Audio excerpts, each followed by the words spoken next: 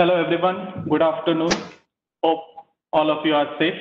On behalf of St. Joseph Engineering College, Mangalore, and IEEE Mangalore subsection, I, Keith Raymond Fernandez, Assistant Professor, Department of EC, and IEEE Mangalore subsection Student Activities Committee Chair, would like to welcome you all for this inaugural webinar of our UN Sustainable Development Goals webinar series. First of all, I would like to welcome Uh, Mr. Narayanan Subramaniam, technology leader, teacher, mentor, public speaker, climate change and environment researcher, senior staff architect, and director of engineering, Nutanix, Bangalore. A warm welcome to you, sir. I would also like to welcome Dr. Rio D'Souza, principal, St. Joseph Engineering College, Mangaluru, for this webinar. He has been a constant pillar of support for all our webinars arranged by us till now. Welcome to you, sir.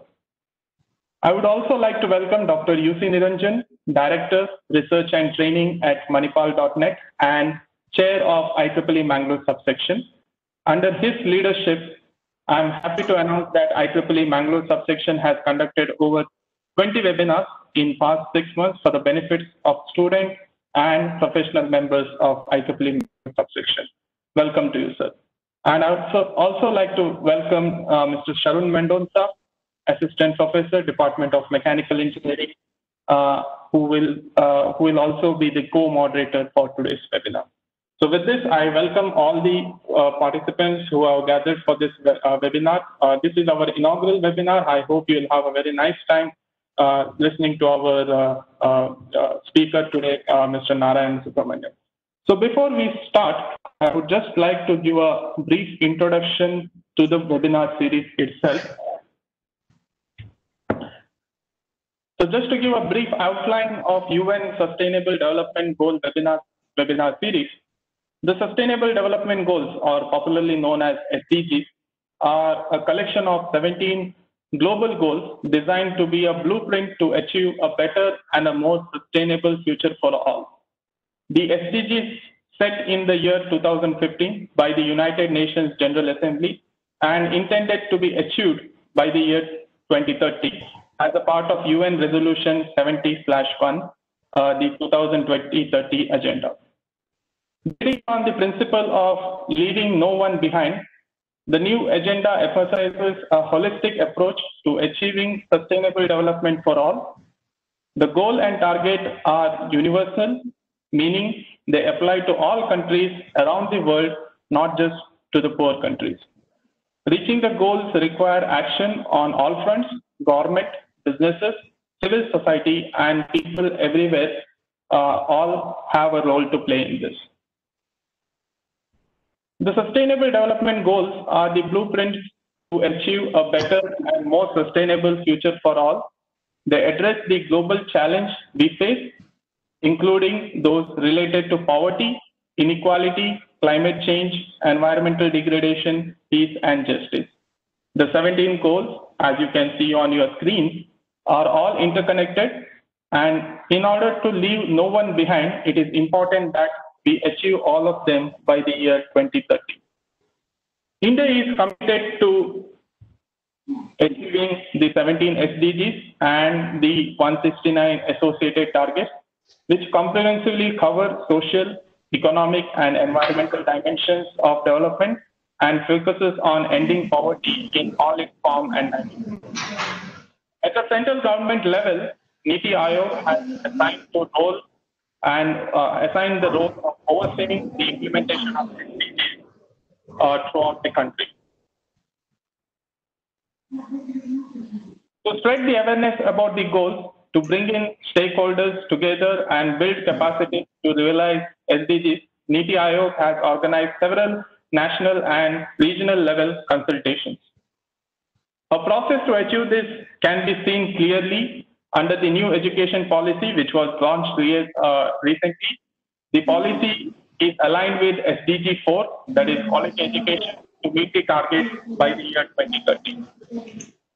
I would like to just put forward some of the statistics, or we call it as big highlight of UN SDGs index uh, follow. You can see that by the year 2019, Denmark is standing at the top with 85.2, and India is at 115th position with 61.1.1.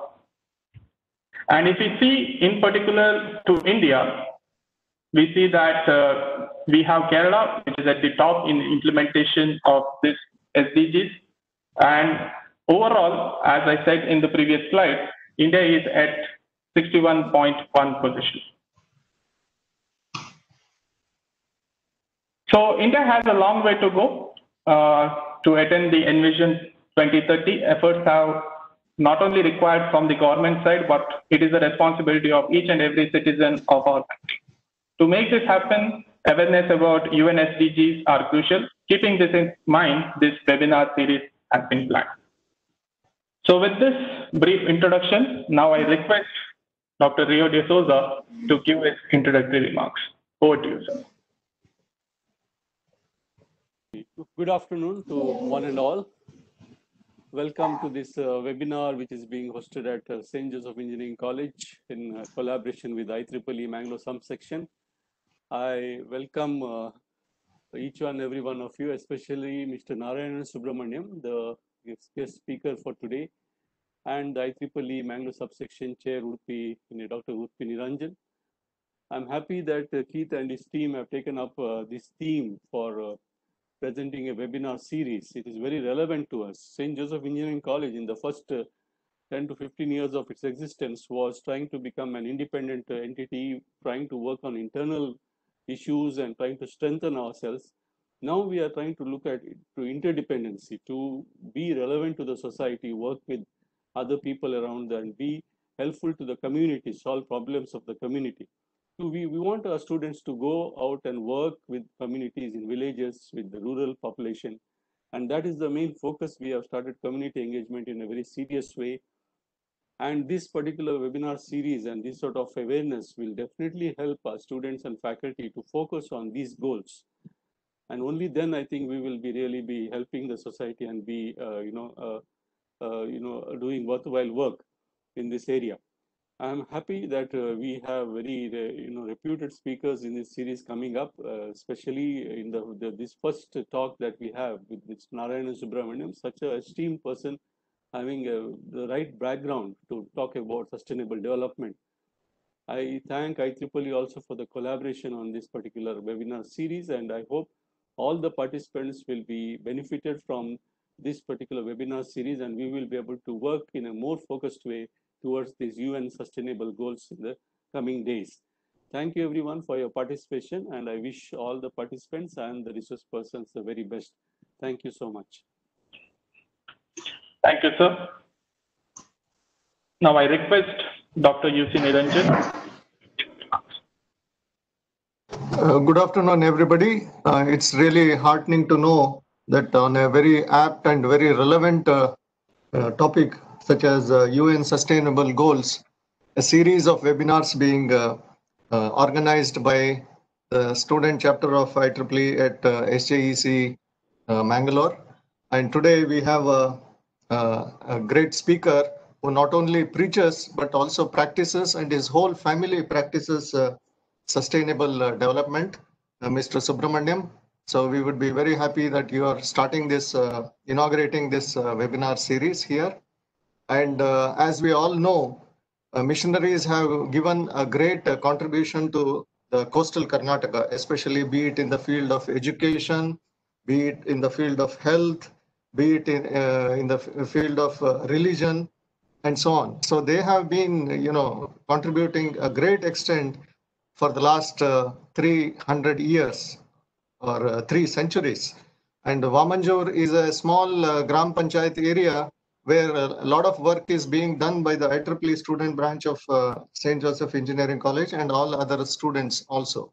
So I take this opportunity to not only welcome Mr. Subramaniam, but also to help us out in the Mangalore area, in the coastal Karnataka area, to start some uh, UN Sustainable Goal relevant uh, projects in this area.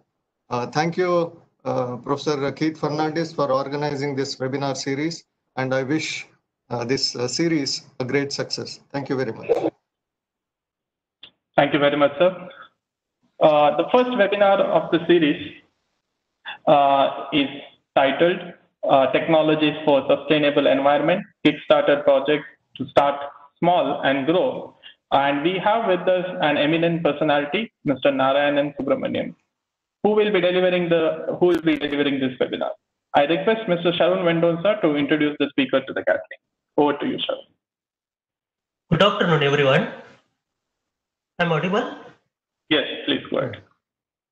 Good afternoon, everyone. I'm very much delighted and honored to introduce today's speaker, Mr. Narayan Subramaniam. He completed his Bachelor of Technology in Electronics Communication from Indian Institute of Technology, Madras, and MS in Electrical and Electronics from University of Maryland College, USC. Passionate about the environment, green technologies, space exploration, having 26 years of technology leadership experience spanning the telecom, networking, data center infrastructure, voice video, and electric mobility domains. Currently on the IEEE Bangalore Executive Committee as co-chair for humanitarian and educational technologies and technical program chair for upcoming BHTC 2020 conference. I'm very happy to announce to the participants that our resource person having 10 US patents for his credibility. He provides pro bono advice on architecture, develops principles on technical career growth. I'm sure after listening about our resource person profile, all the participants eagerly waiting to listen and enhance knowledge. So please welcome today's speaker, Mr. Narayan Subramaniam, a technology leader, teacher, mentor, public speaker, climate change and environment researcher, senior staff architect, and director of engineering, Nutanix, Bangalore. I request Mr. Narayan Subramaniam kindly take over the section. Thank you, Sharun. Uh, before we start, a few housekeeping rules to be followed. Your mics are muted by default. Please use the chat box for any queries or questions to the speaker. You can post the questions during the session and will be answered during the Q&A session at the end. Please send the questions only to the host, uh, not directly to the speaker so that we can moderate the session effectively. The slides by the speakers will be made available uh, to the participants based on speakers' discretion. The recording of the webinar will be available on SJEC YouTube channel in a week's time. The webinar is purely on gaining knowledge and improvement. In order to certify that you have understood everything, we need to carry out some kind of an assessment, but it is quite difficult in this online mode as you're already aware of it. Hence, uh, we will not be issuing any certificate. So I request you not to ask for this uh, in the chat box. Feedback link will be shared at the end of the Q&A session. Please fill it and it will help us to improve our future webinars. So with this, uh, now I hand over the session to Mr. Narayanan. Over to you, sir. Sure. Thank you very much um, to everybody um, who's uh, attending today. I hope uh, my voice is uh, fairly audible. Yes, sir. Okay. So thank you very much, uh, Professor Fernandez, Dr. Rio, Dr. Mendonca, Dr. Niranjan for your very warm welcome. And thank you to all the students uh, for taking the time out today um, uh, to hear, uh, you know, some perspectives that I have on sustainable development and technologies and so on and so forth. So let me just share uh, my slides. Just give me one second, please, as I bring it up. I hope it is. Um, I hope it is visible. Yes, sir.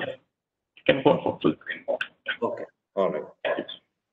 So thank you once again for hosting me. It's it's an extreme privilege for me to be here today, and um, I did spend time to go through the uh, engineering college's website, and uh, you know I was very heartened to see the diversity of skills and um, strengths that the college has provided you, plus a number of students uh, who have done very well professionally and in sports. So it's very heartening to see that. And I'm also delighted that the student body has proactively um, started this uh, webinar series on this very, very important topic. That also shows that you, the college has done a phenomenal job in making sure that you have very well all-rounded development, not just in engineering, but in associated humanitarian fields as well.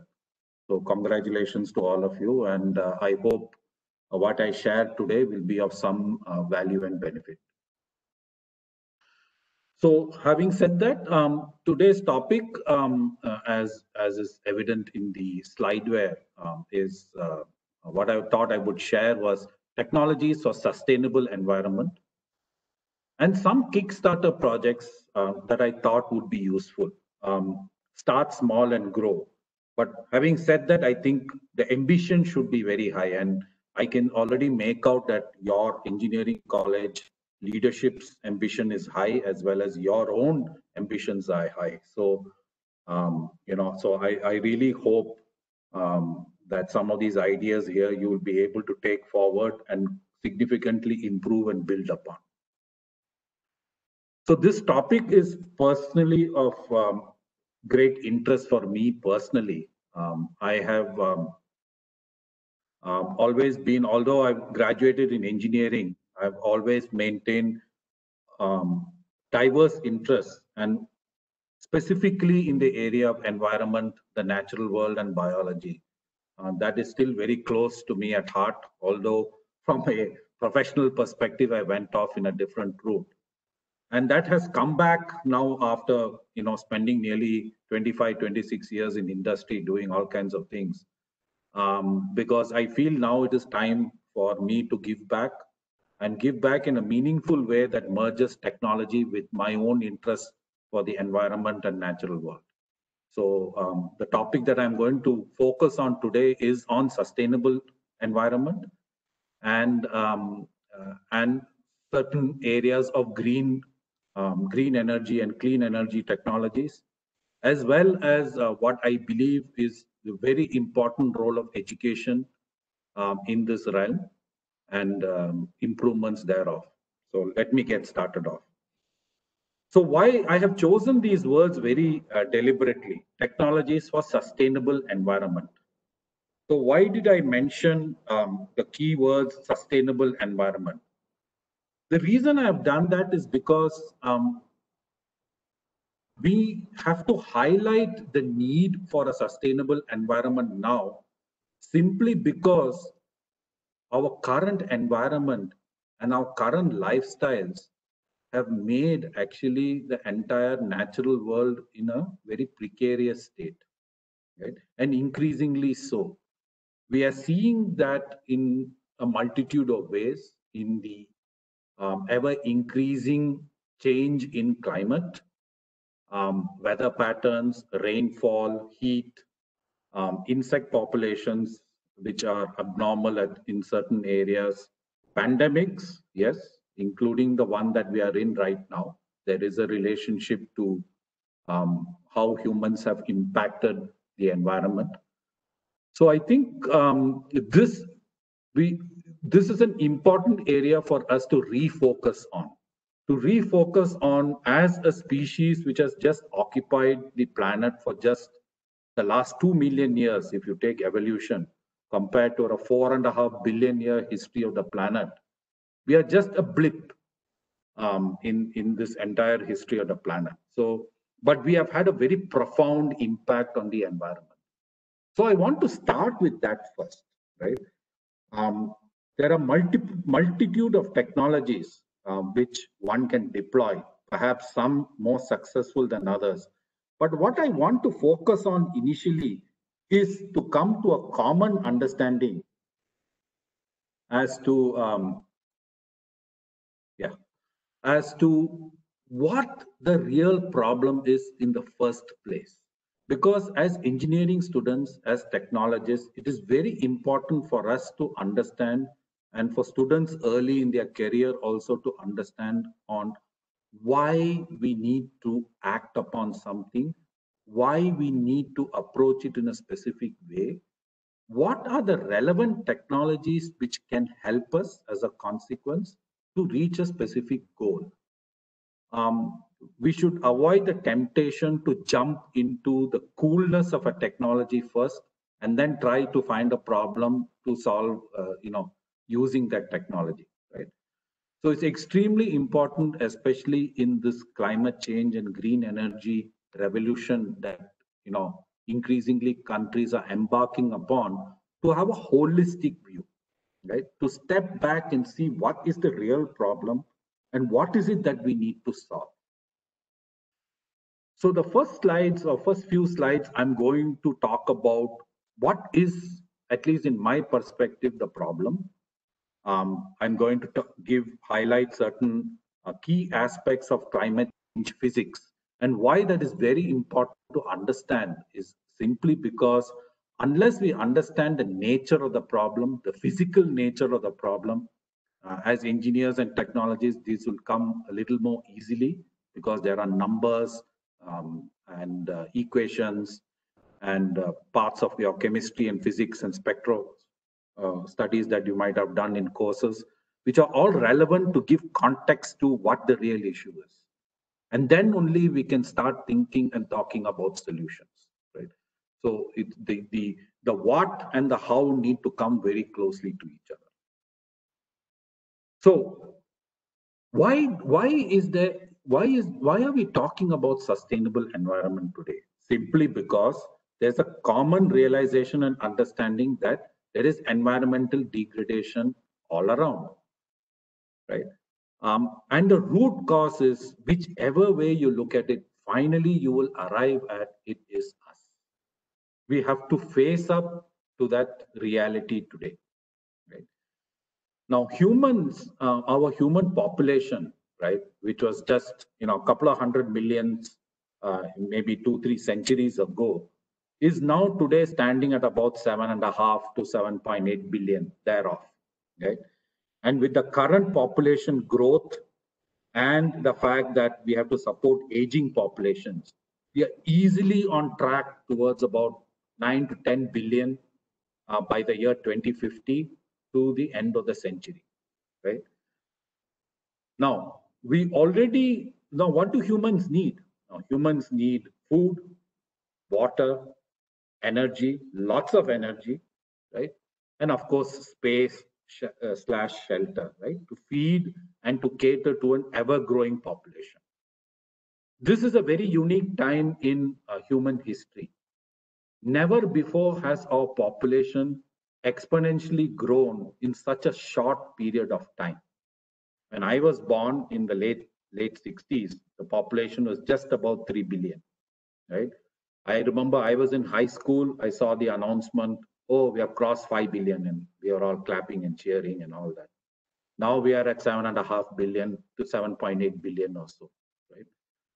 Um, we are finding less reasons now to unfortunately cheer of this immense population increase because it is putting incredible st um, stress on our food, on our water, and on our energy requirements. Okay, so this is the first context that I think that we need to understand is um, the reason why we are talking about sustainable environment is we are implicitly responsible, directly responsible for the degradation that we see around us. Okay, so I think we need to accept that, and only when we accept that, then we can move to the next set of solutions.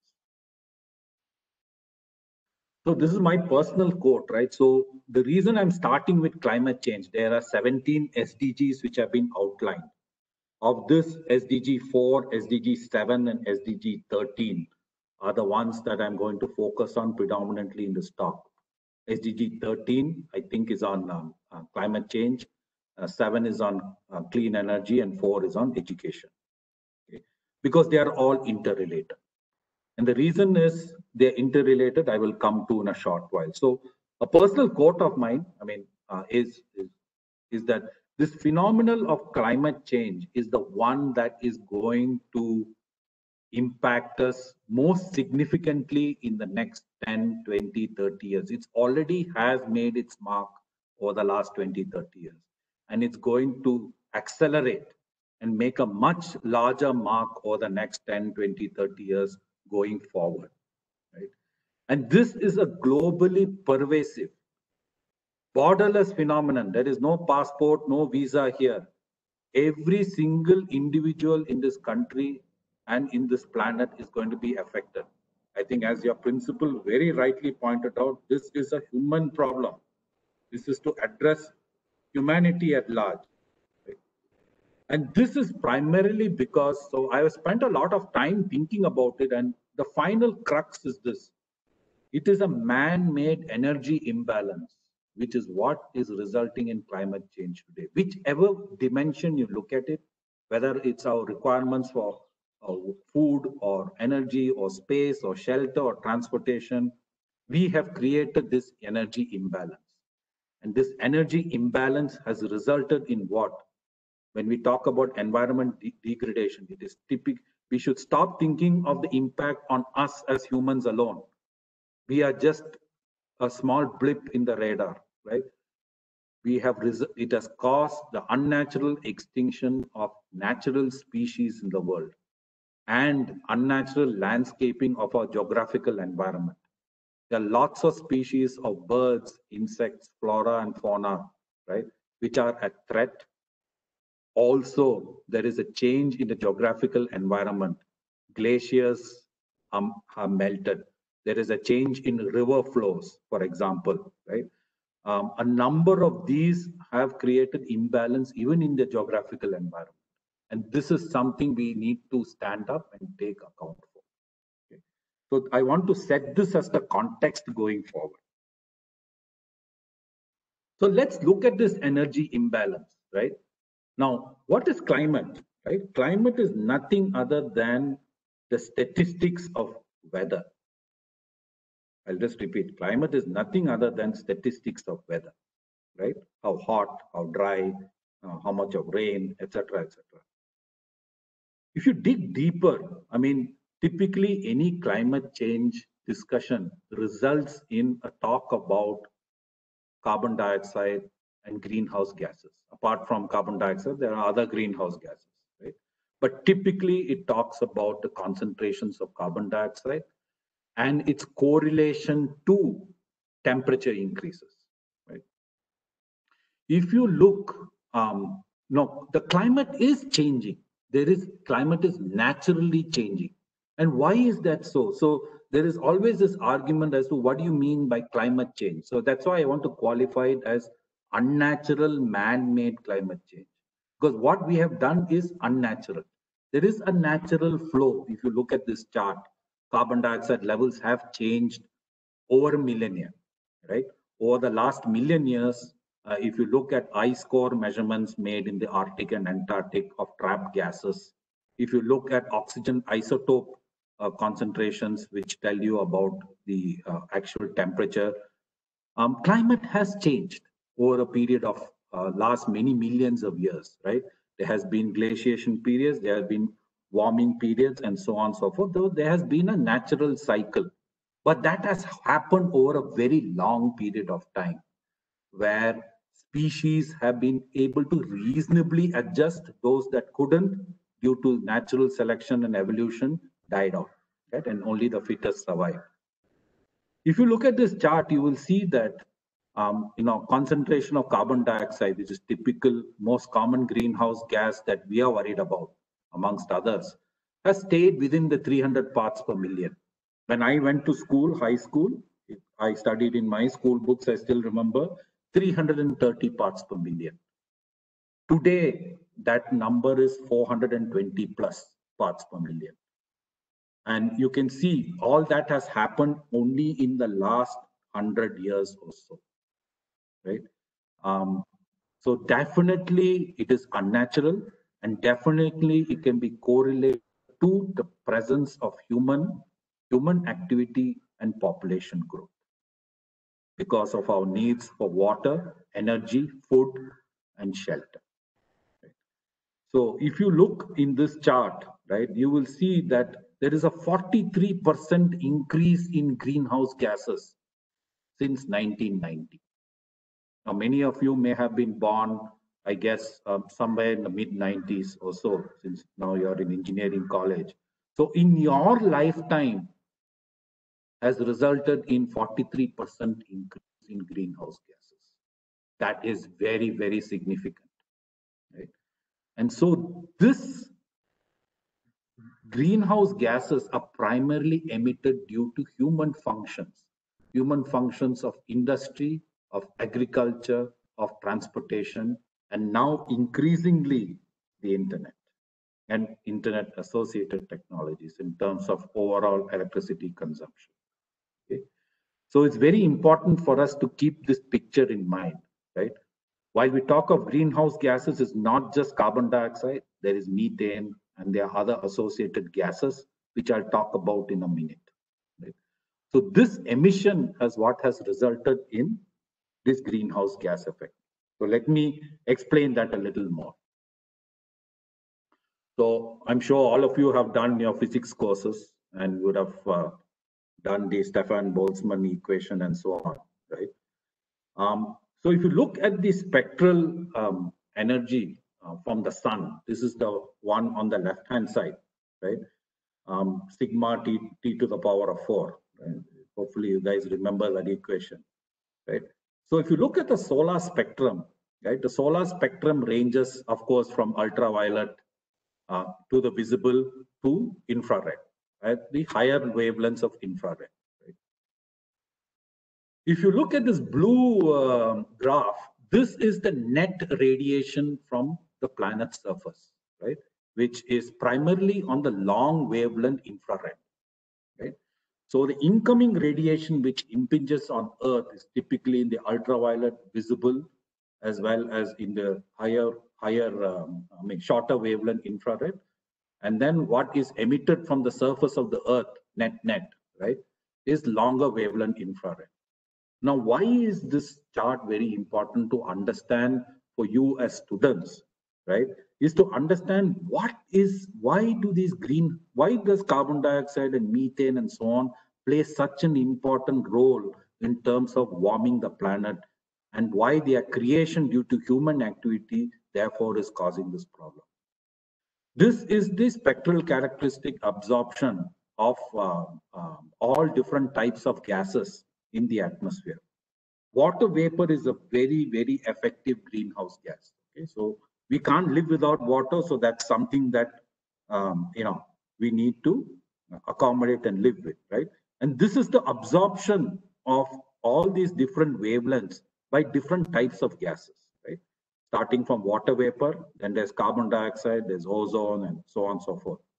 So you will see ozone is the one that protects us from ultraviolet, right? You can see that correlation here. The absorption is highest in the UV spectrum. That's why we have very minimal, um, uh, you know, uh, UV radiation coming to us at the surface.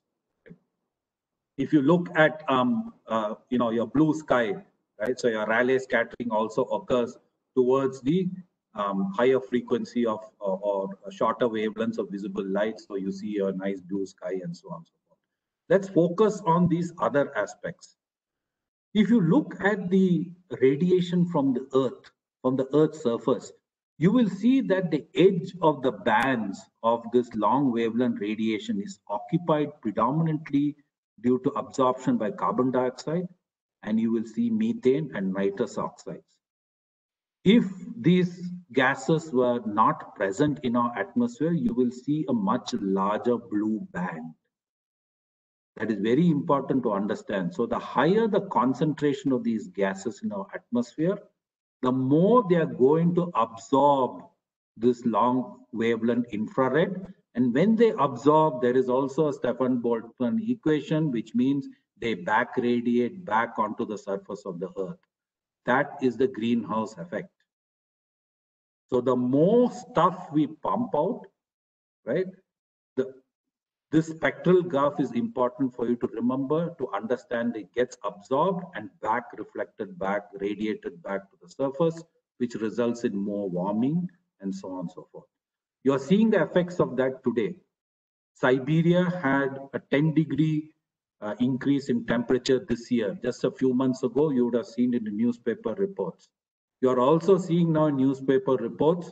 Whether it is a consequence of earth warming or not, it is not clear, but it is significant. There is significant methane gas emissions from the bottom of the Arctic. And just day before yesterday, they have detected from the Antarctic. Right? What does that mean? As these gases now escape from the ocean floor and go into the atmosphere, there's going to be increased greenhouse effect resulting in, in accelerated warming. Okay. So this picture I just want you to keep in mind uh, because it's important for you as scientists, technologists and engineering students to understand the impact of this. It's not enough to know just yeah, carbon dioxide, but question is why. You should be able to relate it back to your physics lessons uh, that you would have learned in um, engineering. So what is it that I'm talking about, right? When I talk of that back radiation. So we, I'm, I'm not going to go through this in detail, but uh, you will see that there is incoming solar radiation, right? You saw that nice uh, red looking curve at different wavelengths. And this is what is coming in primarily on the uh, infrared uh, side, right? Um, some of this gets uh, reflected back, um, uh, you know, by clouds, by aerosols like sulfur dioxide and so on and so forth, back into the atmosphere. And the remaining portion is absorbed. Some of it is reflected back, the remaining portion is absorbed. Now, of the stuff that is absorbed, we also have human activity which is going, right? And all this human activity and so on and so forth, the natural bio decomposition process, biological processes, you know, all this stuff results in about 390 watts per meter squared radiation, which is outbound, right? Now, some of this is absorbed by the greenhouse gases and back radiated. This is what is very significant.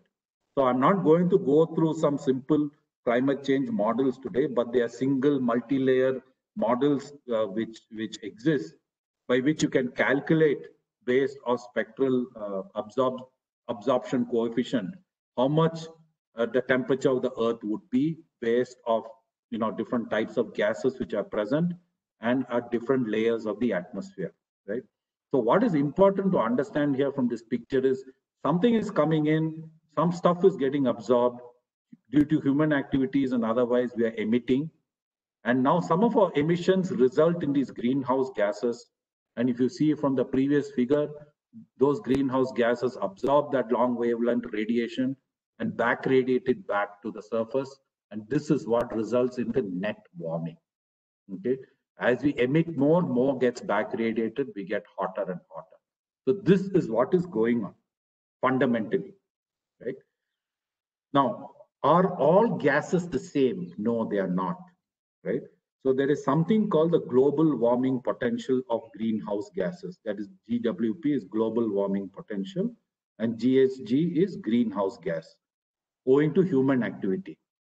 Now, if, if you say that the warming potential for carbon dioxide is one, okay, the warming potential for methane for the same quantity by, by weight, by mass of methane is 23. What does that mean?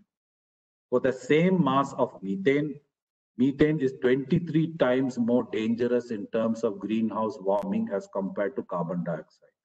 This is why I wanted to mention that earlier uh, point that I made. Gas, methane gas bubbles from millions of years of decomposition on, in the ocean bed, right, is now coming to the surface. It is now leaking.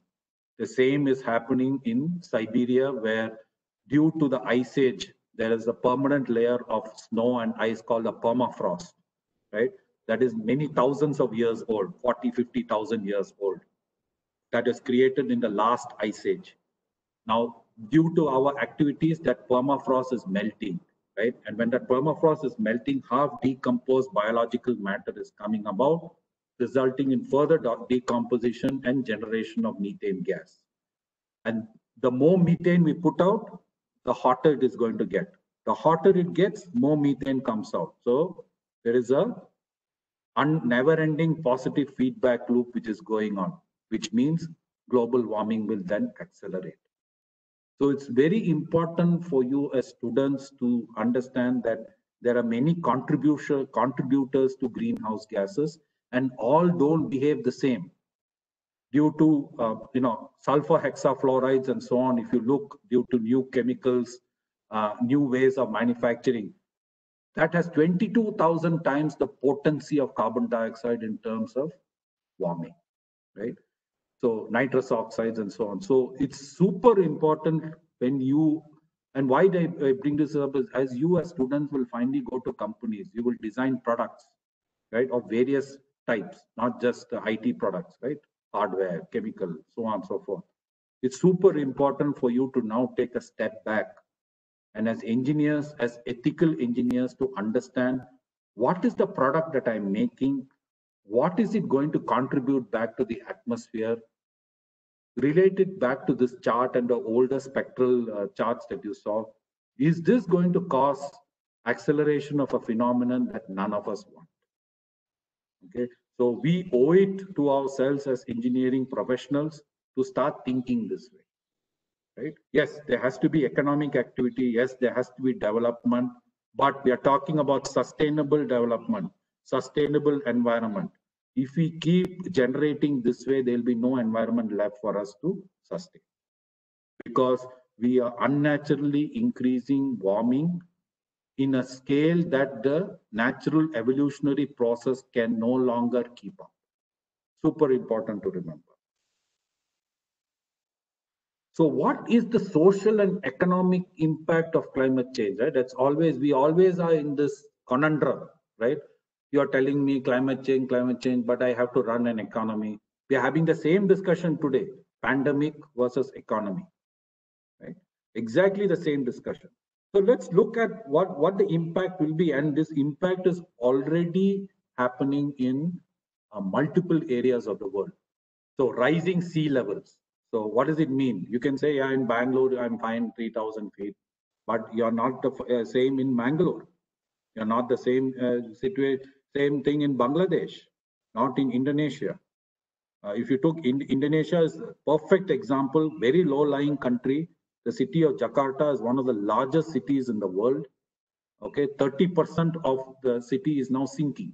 It is gone going below um, because of rising sea levels and all, also because of subsidence of the earth because they have tapped too much groundwater from the aquifers and the earth is collapsing right so double double hammer they have rising sea levels and subsidence of earth right loss of capacity to work due to heat. I mean, it's impossibly hot in many areas today of the world, right?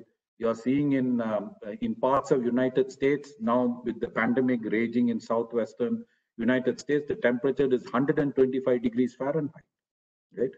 Um, incredible temperatures. We are seeing it in India as well. And the next set of wars, you know what it will be for. It will be for water, okay? Because fresh water supply is depleting right? Um, diseases, the spread of diseases, um, mosquito, especially mosquito vector-borne diseases thrive in warmer, more humid conditions. With global warming, the humidity in the atmosphere in various regions is changing. Rainfall is also changing, right? And vectors like uh, mosquito-borne vectors, okay, are increasing everywhere. In US, 30 years ago, nobody used to talk about mosquitoes or spraying or fogging for mosquitoes in the United States. Today, every year, they are fogging in New York City and other areas because of the mosquito menace. We thought that it is only in Bangalore and uh, in Mangalore and so on, right? It is there now everywhere. That is because of rising temperatures.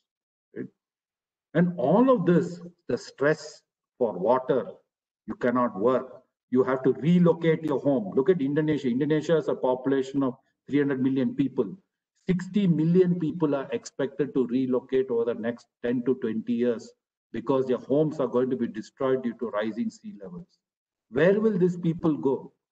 Same thing is happening in Bangladesh, right? Where will people go? They are known as climate refugees. All of us will become climate refugees unless we start addressing this problem, right? We will all relocate. Where? Where will we go? right? There will be mass, uh, you know, social impacts because of this, right? Apart from this, it impacts productivity because of changing rainfall patterns, soil conditions, microclimate in soil is changing, right? So this is the overall social and economic impact. We have to stop thinking of just money and numbers alone, right? Money, the economy is a human creation, right? unfortunately my generation and my parents generation we have as you know i will admit we have caused we have, you know, led us on a path which is which has led us to where we are today. Okay, because of our notions of economy and progress and development. I think it is time you, along with you know a few of us, rethink on what we mean by development and economy and sustainability and so on, because otherwise we will run out of time. Right? This is a slow ticking bomb. Right? And as you know, nonlinear systems, right, are unpredictable. Exponential growth is also unpredictable. Right? So it's this this picture I'm presenting so that there is that right level of, of focus and seriousness on this topic. So what exactly is getting impacted? I mean, for you at in Mangalore, you have such a beautiful area, right, of land and sea and ocean, right? So if you look, water is the first major impact due to climate change. Because why? Unnatural evaporation, the entire water cycle is changing, right? Um, uh, and as population increases, there is a tremendous pressure put on groundwater without adequate replenishment, right? So this groundwater depletion is happening very fast. City like Jakarta, I mentioned, even in some areas of central California, um, uh, uh, north of Los Angeles, right? There's excessive um, uh, groundwater depletion for farming, for growing all kinds of fancy crops which are not meant to be grown there, right? And that, that has resulted in the collapse of aquifers, right? Um, in Delhi, in Punjab, right, the groundwater depletion is at alarming levels. The only thing we haven't seen any report of water shortage this year is only because of COVID because a lot of industrial activity and other activities that drain water from the ground has come to a pause or stop. Otherwise, in Bangalore, by this time, or a few months ago, there'll be the usual uh, cry, water crisis. We have not talked about water crisis this year at all. That is because of the human activities has resulted in water depletion either stopping or in some cases water table rising. Right. So then comes the pollution. Now, ocean acidification, very important, right?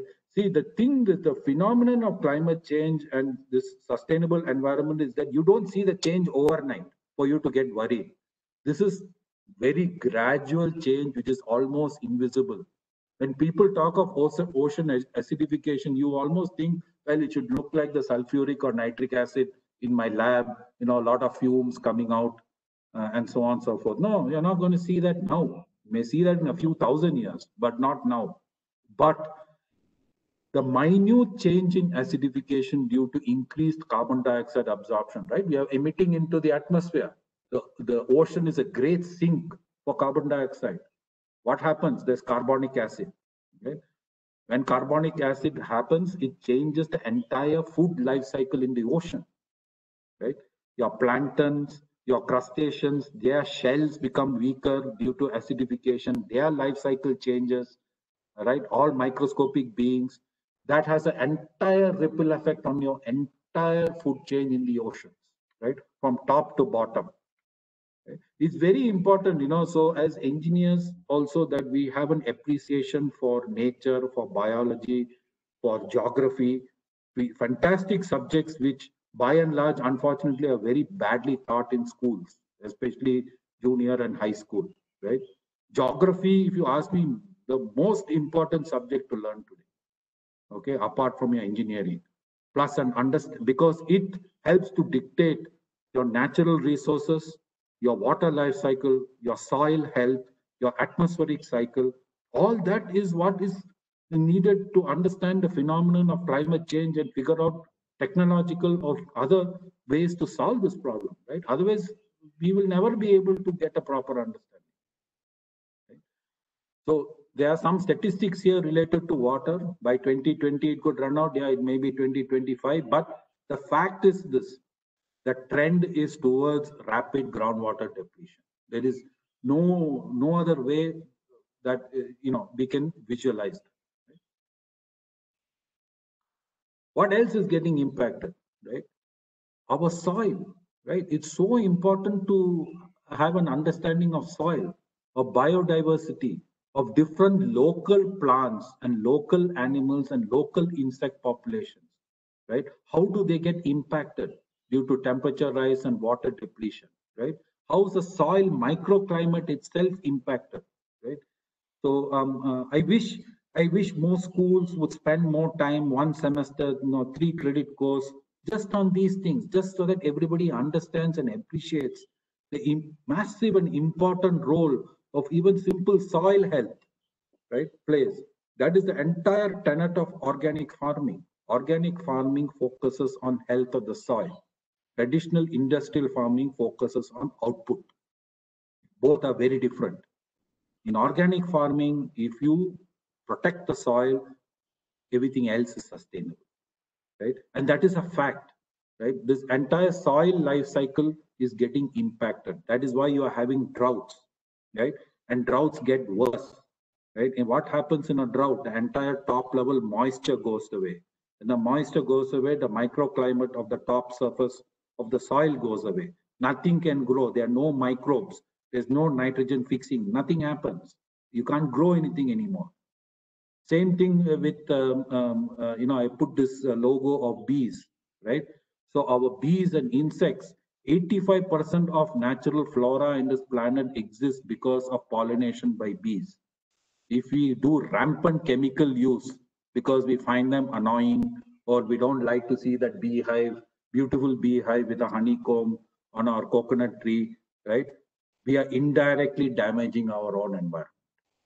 It's it's very important. So I would encourage, so I'll, when I come to the education section, I'll talk about this more, but I'm just trying to put this entire picture for you of all different things which are getting impacted.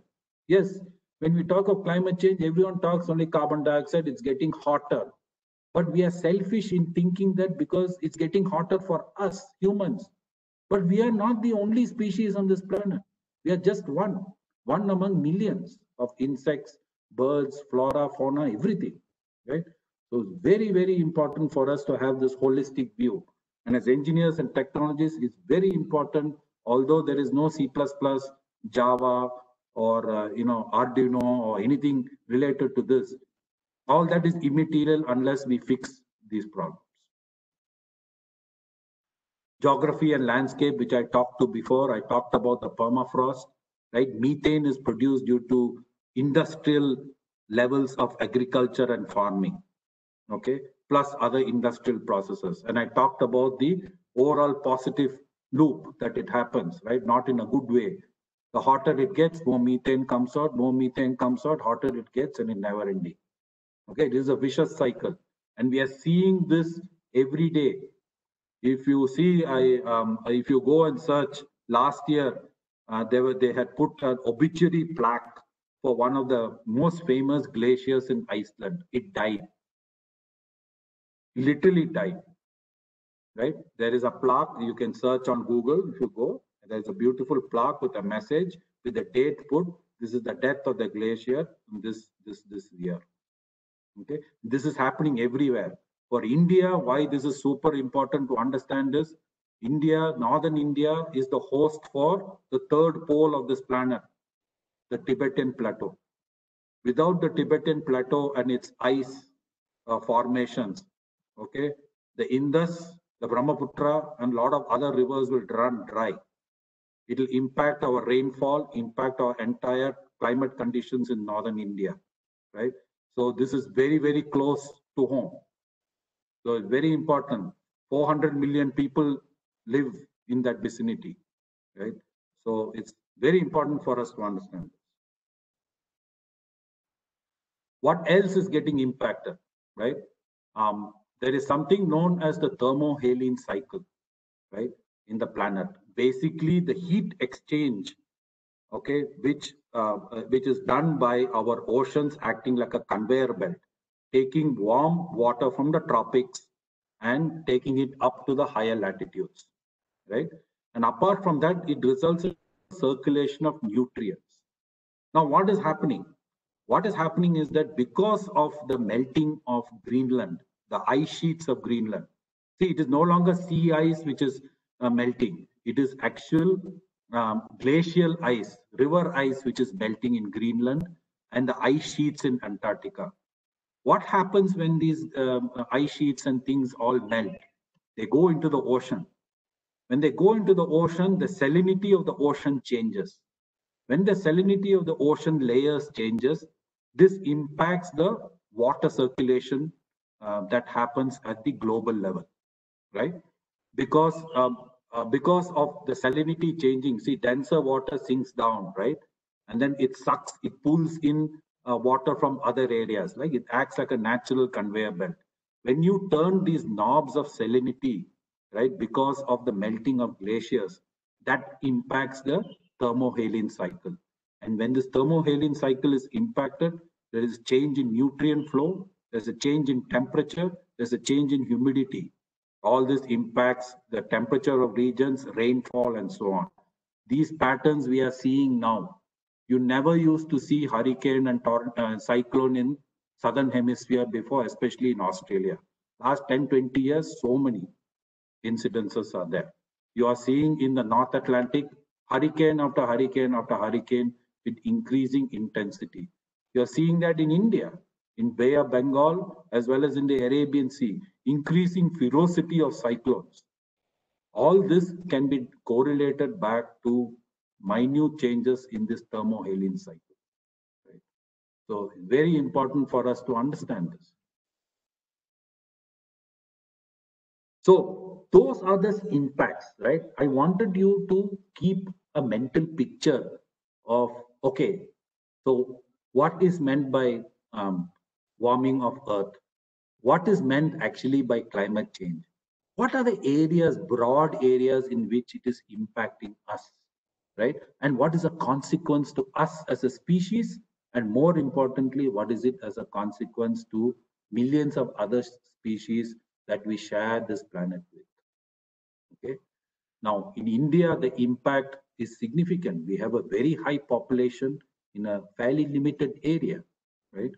So India is getting impacted.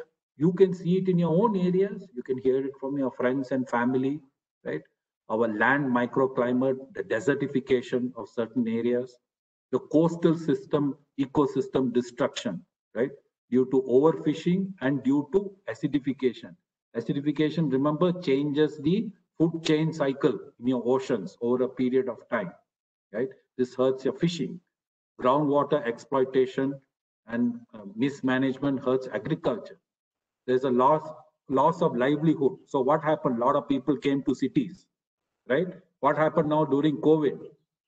Disaster, right? The cities were strained, they couldn't manage, and then we decided to send everyone home, right? This is a vicious cycle that we need to stop. Otherwise, we won't be able to, um, um, you know, have really a sustainable society or sustainable environment. Because if everyone moves to cities, we are we are not at the stage. No city in the world is at a stage where it can provide energy, water, sewage, shelter to everyone in an equitable fashion. Equitable is the key word here, right? It's very important for us to understand equitable distribution of wealth and resources.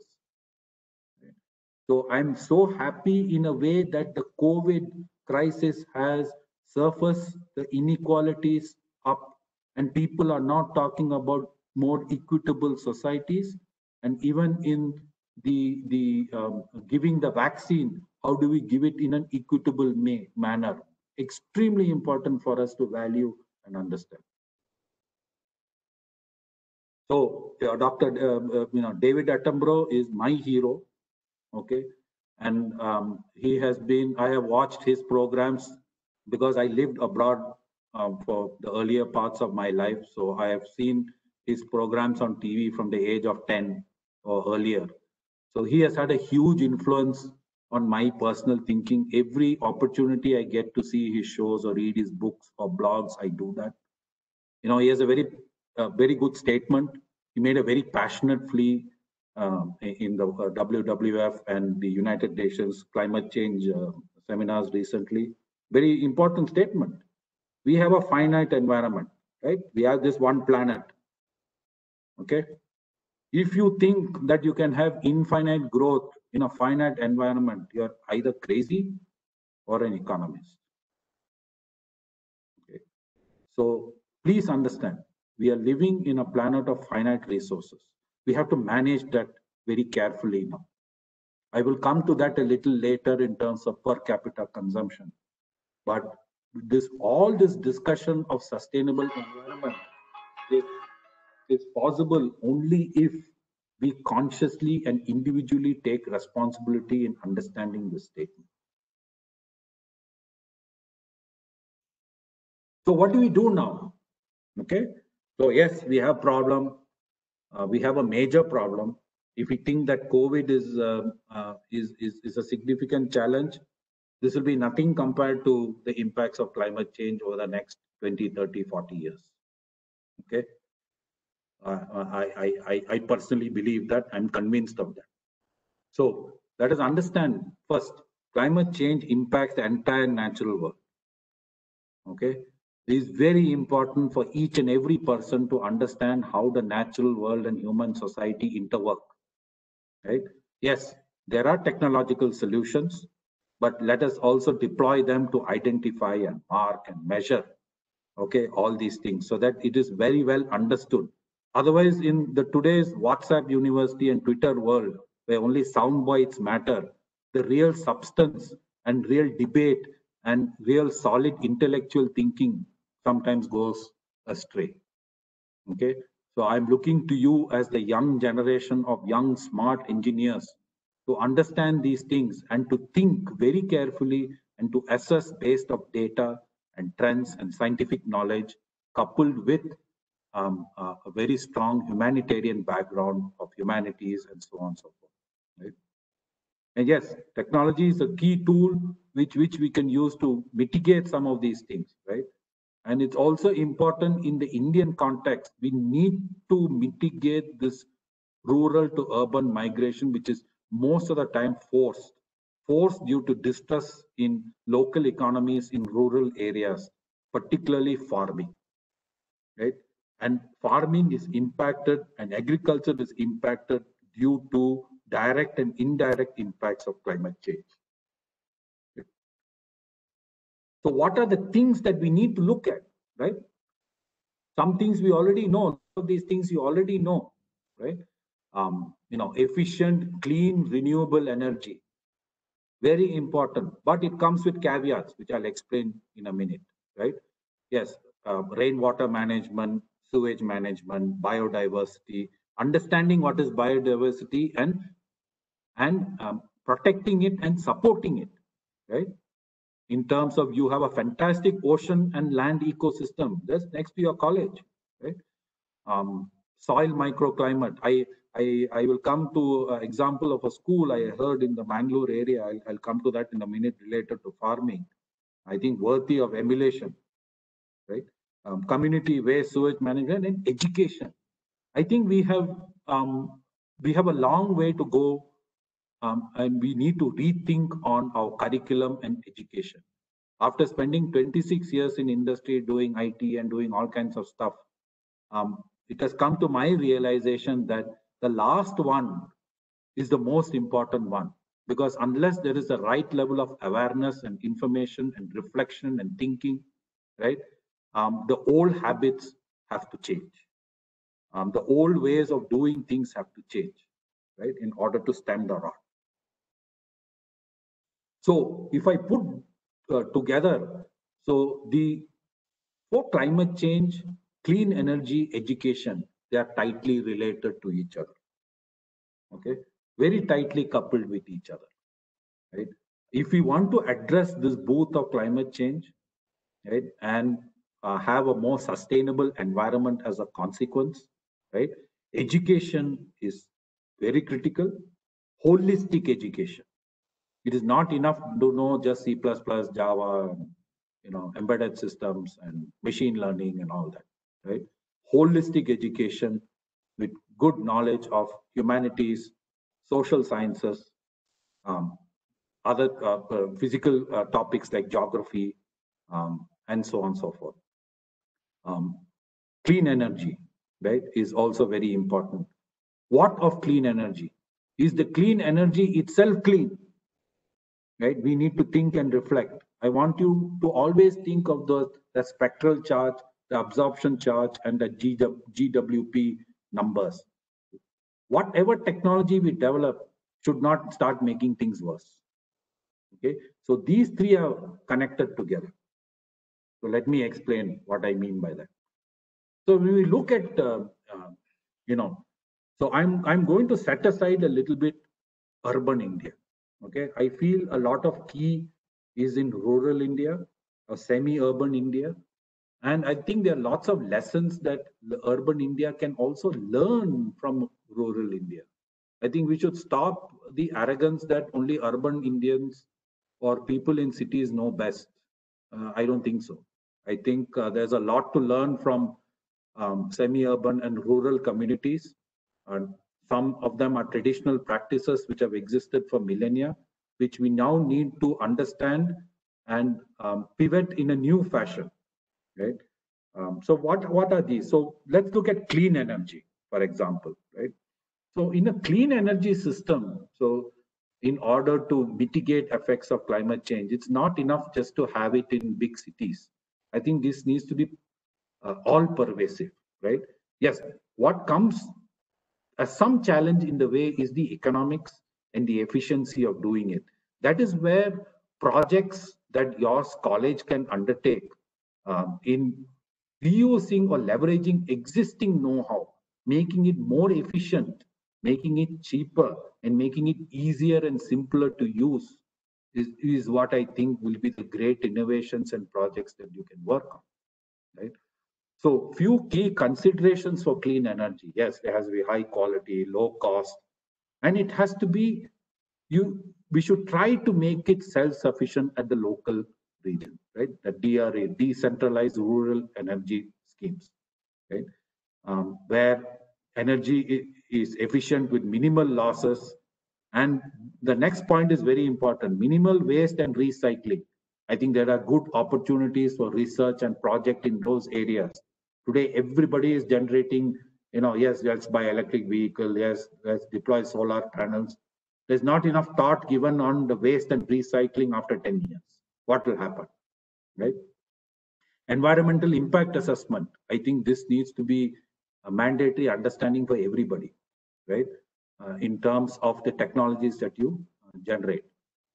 And we need to meet um, the energy needs for all these areas, whether it's agriculture, lighting, cooking, computing, community services, you name it, right? It's standard stuff. We should not discriminate between urban and rural. Whether it's urban or rural, everyone has the same needs, right? We should not have this dividing line saying that only urban India should enjoy advanced computing and mobility services and rural, you know, you guys go figure figure it out. No, right? We need to have equitable distribution of resources.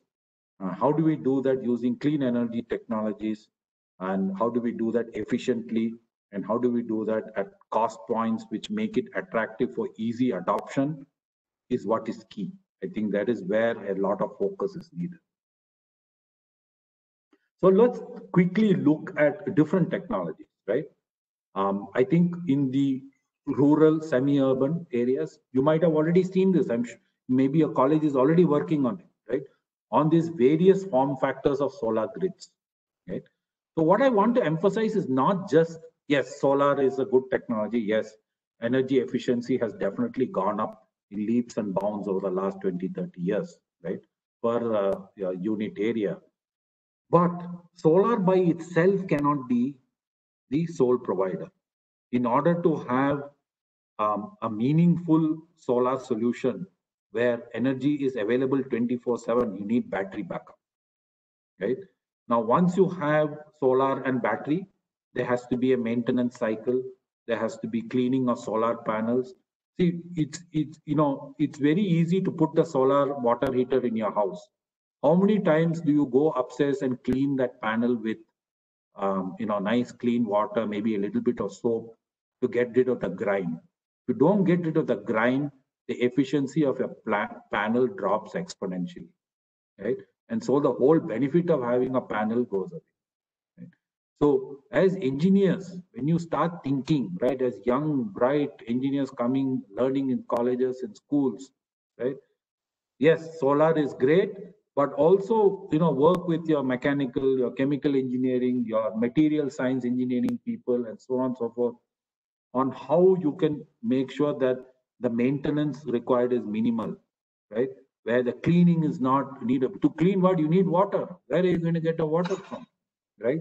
Especially if you have um, very large solar panel, um, uh, uh, you know, farms. You need water to clean them. You need chemicals otherwise to clean them. Those also have negative impacts, right? So you have to look at it holistically and tackle the problem not just from an electronics or IT perspective, but holistically. This climate change and clean energy is an interdisciplinary subject.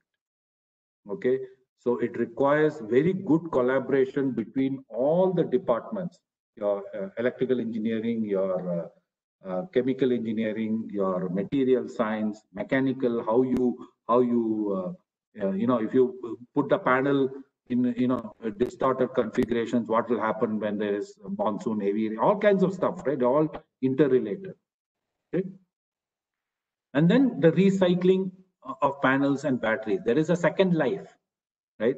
So a lot of batteries used in electric vehicles, which I'll come to in the next minute, after 80% capacity, uh, 20% capacity degradation when 80% is left, then they become suitable for uh, battery backup, can be used in UPS systems and so on. So how is that interrelationship going to happen, right? Who is going to develop the technology solutions to put that entire supply chain together? All interesting problems to go look at. If you look at uh, uh, wind, right? I, in my personal opinion, for an Indian rural context, I think a hybrid solar wind is very good. Yes, centralized wind farms where central grid runs is okay. But if you're looking at decentralized uh, rural energy schemes, I think a hybrid solar wind is good. And it, they complement each other because when there is um, no sunlight, you know, heavy rain, usually you, you may have uh, high wind conditions um, it's more appropriate for uh, wind-based technologies, right? Again, the same battery backup. Because always remember, same one thing, just remember this equation for only one thing. Power is proportional to cube of uh, wind speed. So wind speed is half, the power is one eighth. Okay. So you, when you design and when you think, you have to think that way. Hmm? But the other same challenges happen, your battery maintenance, cleaning, maintenance, and so on and so forth, right? So what are the areas as an interdisciplinary? So your college has so many disciplines, right? How can you combine together to think of a holistic solution where the entire life cycle becomes efficient and attractive to adopt? I think this is uh, um, uh, also in farming communities an excellent solution in terms of biogas, right? Especially when there is a lot of manure um, uh, animal-based or plant-based compostable uh, are there, where methane can be emitted out uh, and reused for cooking purposes, right? Uh, I think this is feasible, where a number of homes can combine together for a single large bio biogas unit. I think these are all prototypes that uh, you can work in your rural communities, right? To prototype, to improve and excel on it is not just new technologies which are meaningful. I think we have enough existing technologies that can be tweaked, that can be modified, that can be adapted to improve efficiency and drop cost. That in itself, you will do a great service to your areas and to the nation because you will make it easier to adopt. I don't think we need any new revolutionary new technology anymore. I think if we reduce consumption and make existing technologies more efficient and better used, I think that in itself is a great start. Mobility. Now, mobility is required for everybody, right? Now, why is electric, let, us take a step back. Why is electric mobility useful? Electric mobility is very simple, very simple why it is useful is simply five to six times percent, uh, five to six times more efficient than um, uh, gasoline-based uh, uh, fuel solutions for the same amount of input energy.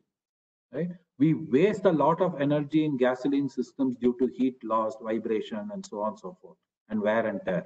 Right? In electric uh, systems, for a given energy input, the output is very high. You can see from this graph. And this, this any electric vendor will tell you that. So the move towards electric mobility is simply because it, it is more efficient. It's simple, right? The cost is a different factor. That's because battery cost, cell cost, you know, component cost like cobalt and so on and so forth. That's a different challenge. But let's understand from an engineering perspective, there's a 6x difference for input energy versus output energy versus for electric vehicle versus IC, 6x, 5 to 6x. Okay. Um, I think it has very good adoption in rural areas where predominantly there are two wheelers, three wheelers, farm equipment. I think there is a very high potential. Yes, just like the other areas, other things you need to see on the maintenance cost, the operational cost, make it more efficient so that the ease of adoption is better. Okay. There are a couple of technologies. I'll just cover very briefly fixed and swappable battery solutions. I think fixed battery, many of you would have heard of Ather Technologies and uh, you know all this other Okinawa and all these other bikes, right? Two wheeler from some from Bajaj and Mahindra and all that, right? The key thing for you to understand is this, okay? What is appropriate for different deployments? A fixed battery solution, typically one and a half, two kilowatt hour battery, right? Which will give maybe a range of 70, 80 kilometers or so, depending on the type of bike, requires a charging time, right? The only reason I put this curve here is to tell you that the charge time exponentially increases, right? Because there is something known as a constant voltage time and a constant current time, right? So in the constant current time, uh, once the cell voltage reach, reaches a nominal of about 4 volts or so, 4.2 somewhere that volts, as capacity is being built, it goes into a constant um, a voltage cycle where a charge current slowly drops. And that takes a long time to charge. Basically, what this chart is trying to tell you is that it's not a simple division rule, you know, 2 kilowatt hour by this much of current I will finish off in two hours. It may take four hours. That's because of your uh, constant voltage and uh, depleting uh, charge, um, I mean, your current life cycle here. Okay. So perhaps two wheelers, three wheelers, this is great. Overnight, you can charge in a rural setting because you're not traveling so much. Right. That is why I'm saying that understanding is important. Right. Um, and the question is now, where do you keep these chargers? Right. Um, how do you distribute this? So if you have that wind and solar integrated farm, right? I think that's a great opportunity to host charging charging stations or charging platforms. Right?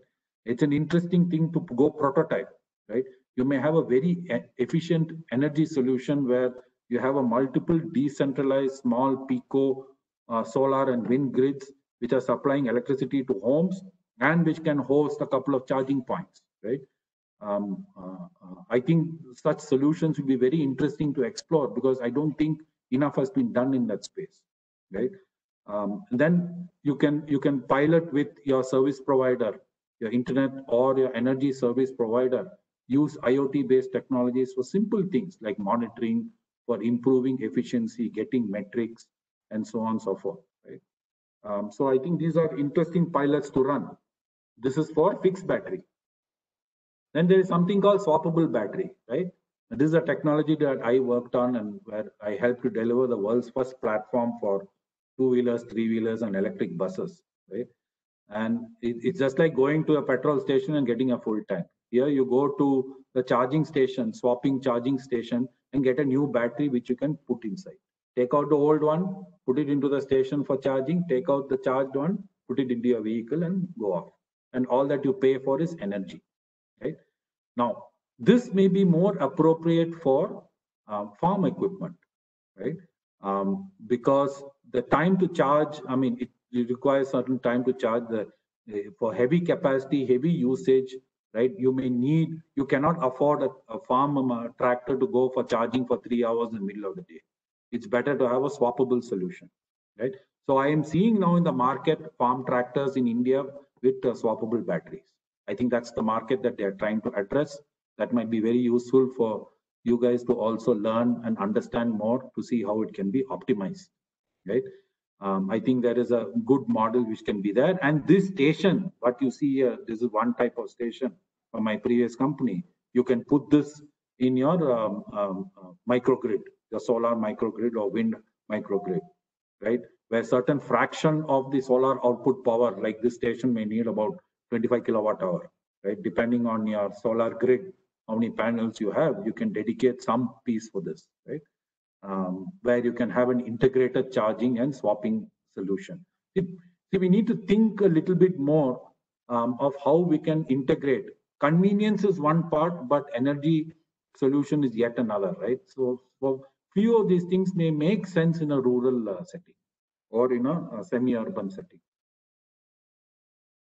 So what are Kickstarter projects, right? I mean, so why I wanted to put that uh, context is, um, is to give you certain pictures of what things can be done, right? And these are things I think if you, your, your faculty and students can further investigate, because these are existing technologies, right? This is not, not a new rocket science. The question is how to package them together, how to make it more efficient. So an example here would be, um, you know, how do we do the small solar and wind deployments? You can see the figure on the top right for lighting and for local lighting solutions, right?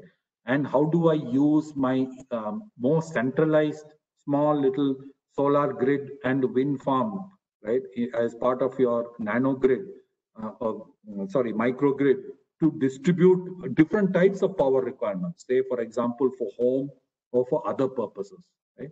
So you can have one type of solution for street lighting where the thing is distributed. You can have another uh, common solution with battery backup for more intense purposes like home lighting, um, home computing perspective, and so on and so forth, right? So these are the different models I think that you can explore or work with companies on to explore and see what is feasible and make it more efficient and make it more economical, right?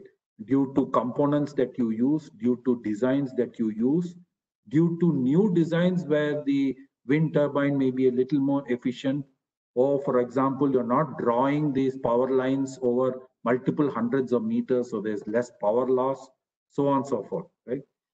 And um, how do you use IoT for integrated management and ease of billing, right? Uh, and ease of use. So I think these are these are projects which may seem large, but you can take it in small chunks, right? And start looking at because this will really make impact in your rural areas.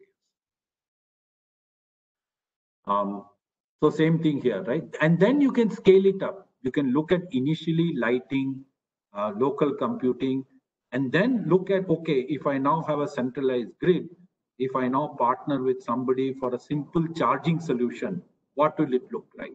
These are projects which may seem, um, uh, oh my God, it's a lot, but actually no, because there's enough expertise in industry to work with you and your faculty and students to help you actually do this, pilot it, and learn from it so that your fourth year students learn, they pass that knowledge to third year.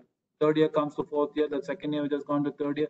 So that continuous knowledge sharing and over a three, four, five year life cycle, you would have made enough improvements to have perhaps something unique in terms of an efficient, scalable, and viable solution for mass deployment. I don't see any reason why you guys cannot innovate just like Stanford or MIT does a lot of innovations in the IT field in Bay Area, especially, have come from universities and colleges. I see no reason why it cannot happen the same in India as well. Okay, it's the same Indian brain which has gone there. So please keep the Indian brain here and do this, uh, approach it in the same fashion. Okay, we are all here from industry, um, either in industry or soon to retire from industry to support and help in any way.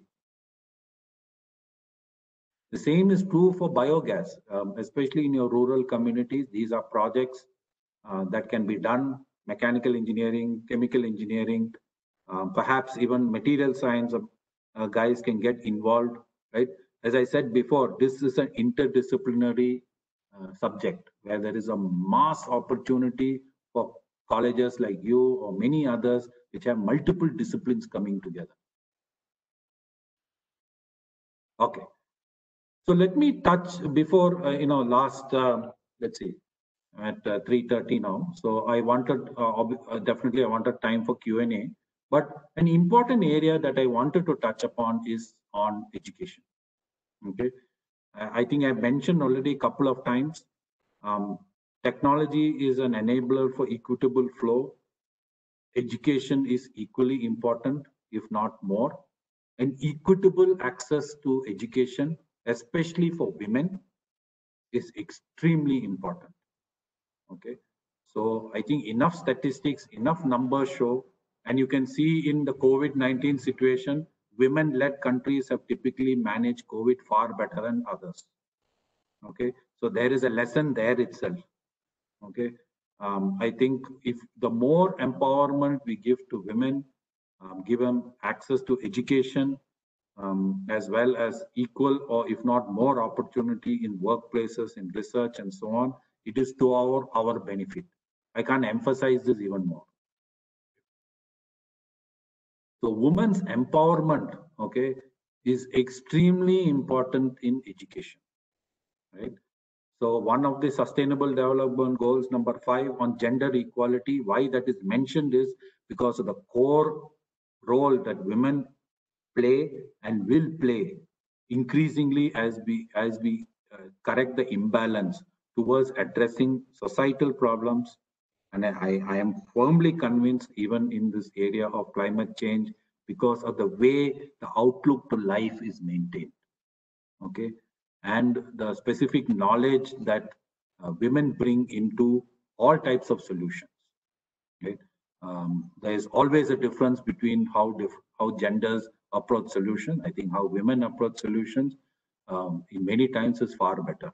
So it's important for us and important for you as engineers to understand that, to encourage diversity in education and in the workforce. So when I talk about education, right, um, I touched upon this a little earlier on. I, my firm conviction is that rural India has a lot to offer urban Indian students. So this photo I have taken, you might know of the school. There is a school in Mangalore which makes uh, uh, which is uh, which has farming compulsory, I think from 7th standard to 12th standard. So I see these students um, going and actually planting crops, understanding uh, crop life cycles, soil climate, and so on and so forth in their own little way. I think this is a phenomenal concept. I think this needs to happen in every school in India and not just school, I will say even in engineering college. Okay. Uh, why I'm making this proposal is that because um, we should stop thinking as ourselves as only technologists working on technology. This is also technology. If we don't understand how we get our food and manage our water and soil, there is no use, right? Um, because just having uh, uh, you know iPads or uh, you know laptops and so on and so forth is great, right? Just that knowledge alone is insufficient in my opinion. So I think there's a lot of uh, learning that can happen from rural India in traditional organic farming, in understanding native knowledge of uh, biodiversity and the balance between flora and fauna, because we have tremendous biodiversity in India. And in Mangalore, where you're on the um, uh, windward side of the Western Ghats, it's one of the biodiversity hotspots, that entire Mangalore to Kerala area, right? So understanding that is very important so that as chemical engineers, as IT engineers, you're looking at solutions that preserve that biodiversity and enhance that knowledge. Okay, so educating urban India on sustainable farming is, I think, a very important thing. This is also a livelihood, you know, for a lot of uh, rural people who have this know-how. We should stop the arrogance thinking that only urban people know all the solutions or because we come from IITs or IISCs that we know everything. No. Okay, there is a lot of uh, potential and knowledge base in our rural and semi-urban areas, especially in the farming and the uh, biodiversity and environment related knowledge. That is also knowledge. That is also education. We should not think of it as anything less. Okay, and those can also be intellectually protected, right?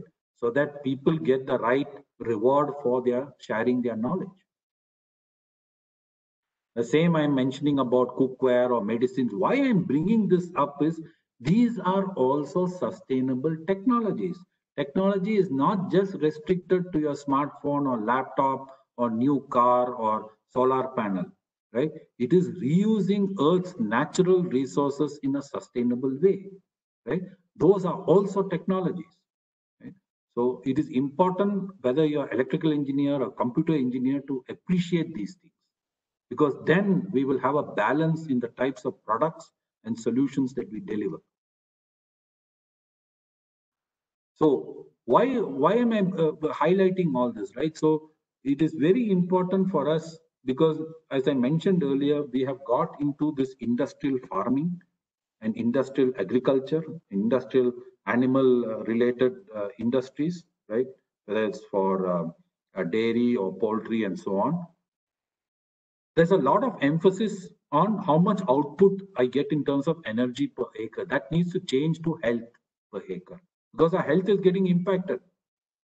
So much uh, attractiveness towards organic farming, lack of pesticides, natural methods of um, uh, of um, uh, what do I say um, of uh, ripening fruit, food, and so on and so forth, right?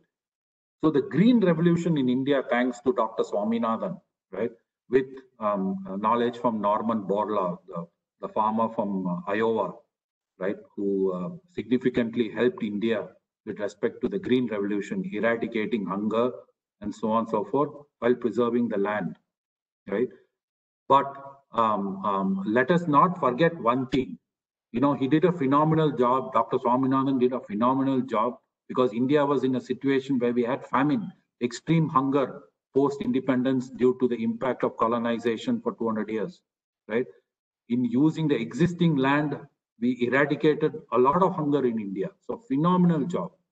Now we need to change that because that land has got reused and polluted due to rampant use of insecticides, fertilizers, right? Monoculture in farming. Right? See, um, your, uh, uh, your, I think, um, Prince, eminent principal, uh, I think, mentioned during the introductory talk of um, how uh, the, the the coastal Mangalore area has had such diversity of input from missionaries coming in and so on.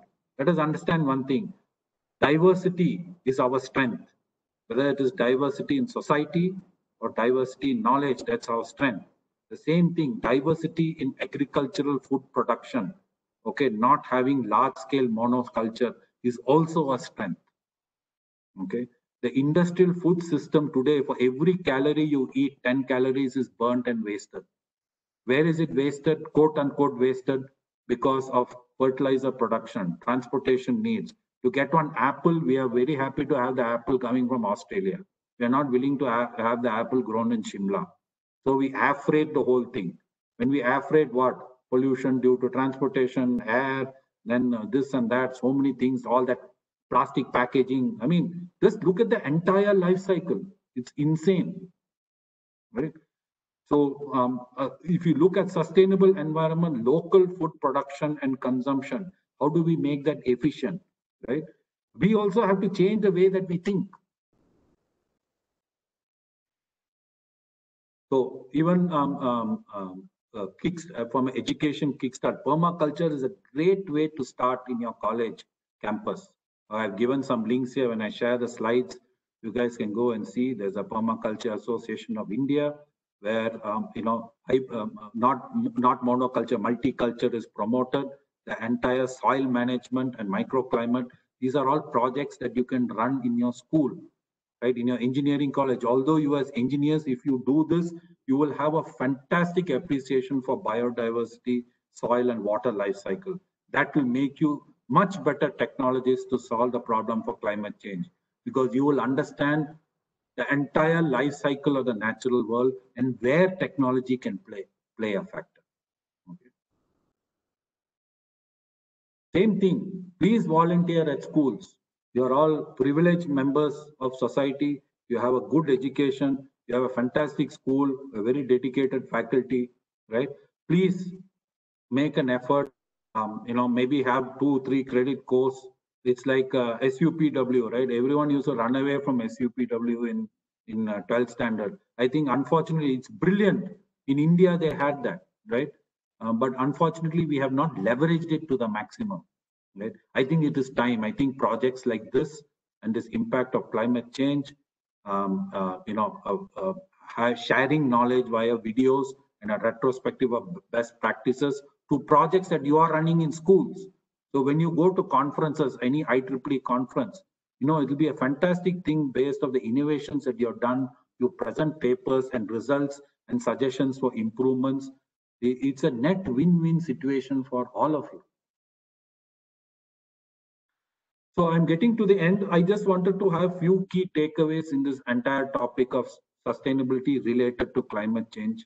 Okay, if there are ways to reduce all this greenhouse gas and you know uh, environmental damage and all these things I, you can see the number one number one way is on the right hand side i don't need to explain there need to be less number of people okay we need to control our population growth right because more population we have the more stress on water energy food we already saw that right um, change our lifestyle.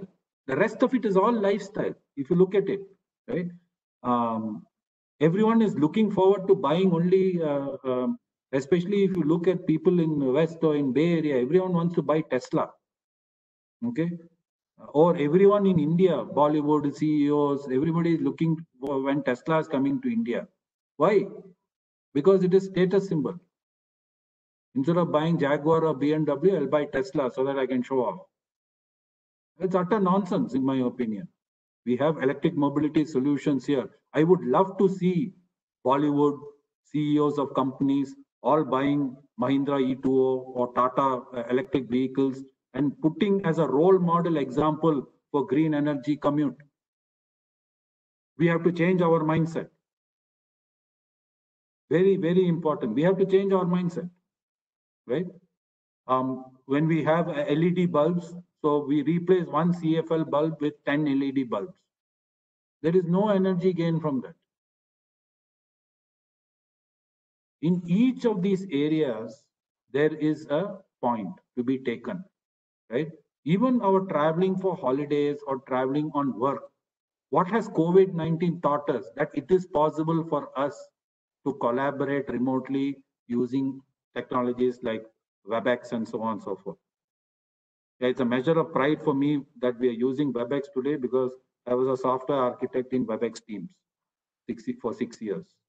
Right? So I'm very proud that this solution is used now for video conferencing worldwide, especially in this situation. So the takeaway from this is there is some inconvenient truth. Technology can address climate change only up to a limit. The rest of us is up as individual, society and country. Unless we reduce, see, we only think of recycling. We forget about the other thing, reduce and reuse. Unless we reduce, no amount of technology can save us. So we have to think of ways to change what we mean by economy, what we mean by development, what we mean by progress because our population is only increasing. And remember David Attenborough's statement, there's a finite planet, there's only finite amount of water and things. So something has to give way, right? If if, if both, uh, I mean, numerator and denominator both can't be increasing at the same time, not possible. Something has to give way. The only thing that can give way is per capita, we have to consume less.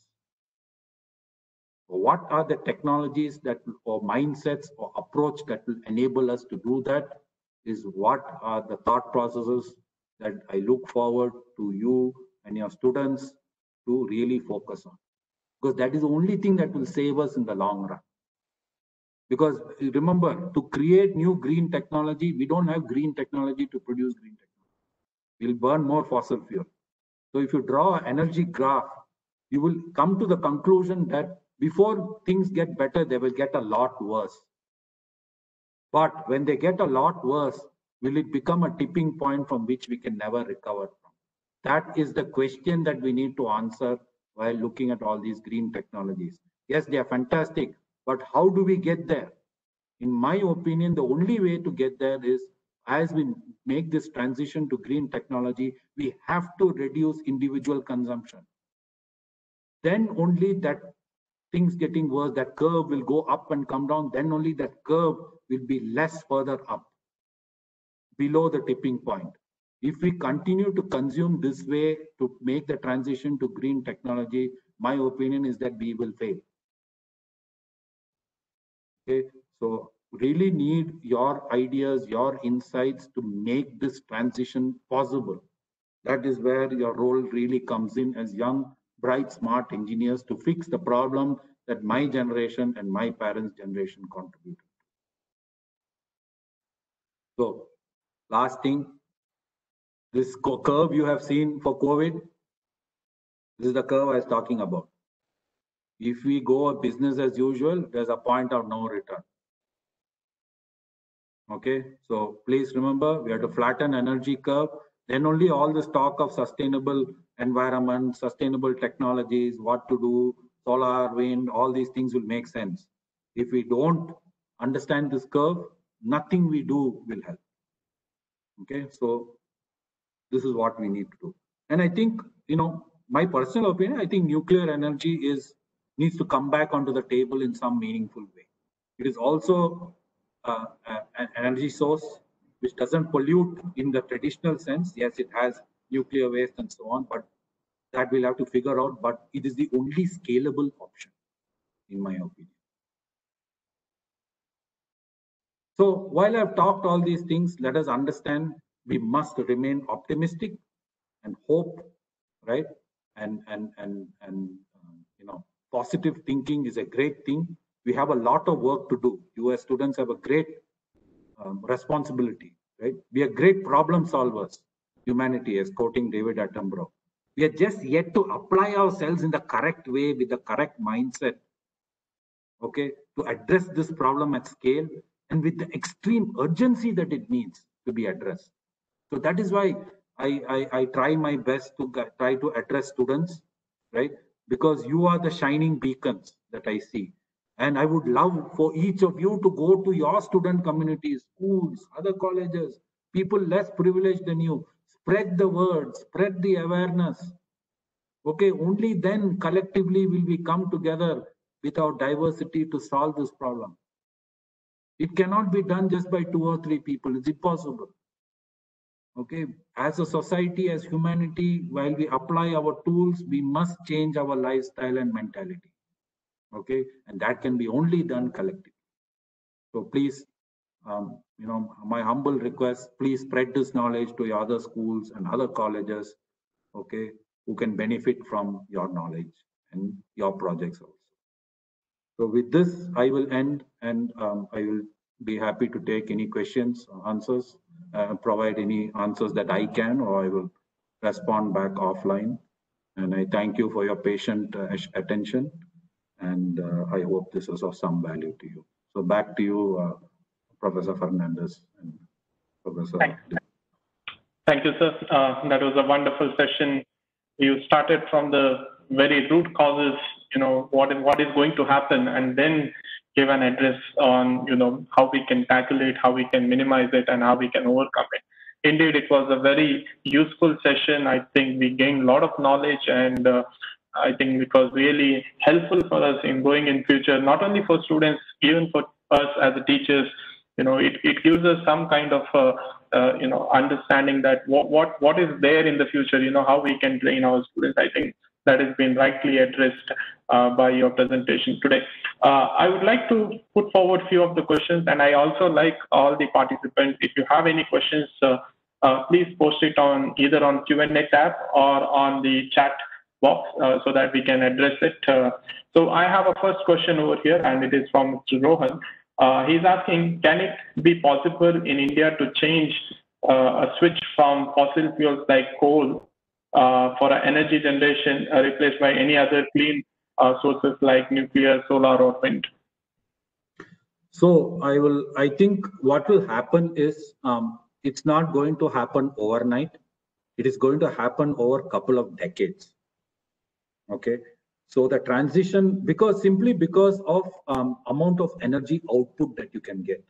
See the energy output you get from a coal power plant. It, it is no longer just the cost of costing, right? It is also the scale. Uh, if you take a given land area and put solar panels, the amount of energy output from there versus the amount of energy output from a coal plant, you need to trade off. You have to figure that out, right? And solar alone is not enough because the coal can give you 24 by 7 power. In solar, after the sun goes, what will you do? You need battery storage, battery banks. You need enormous amount of uh, land and capacity to store all those batteries, plus recycle them. The same is true for wind, right? So um, these are all the practical considerations. So it is not going to happen uh, overnight. It is not going to happen in five years or 10 years, in my opinion. I think this is a multi-decade journey. Uh, we are already very late in starting, um, but we have no choice but to make that transition as smooth as possible going forward.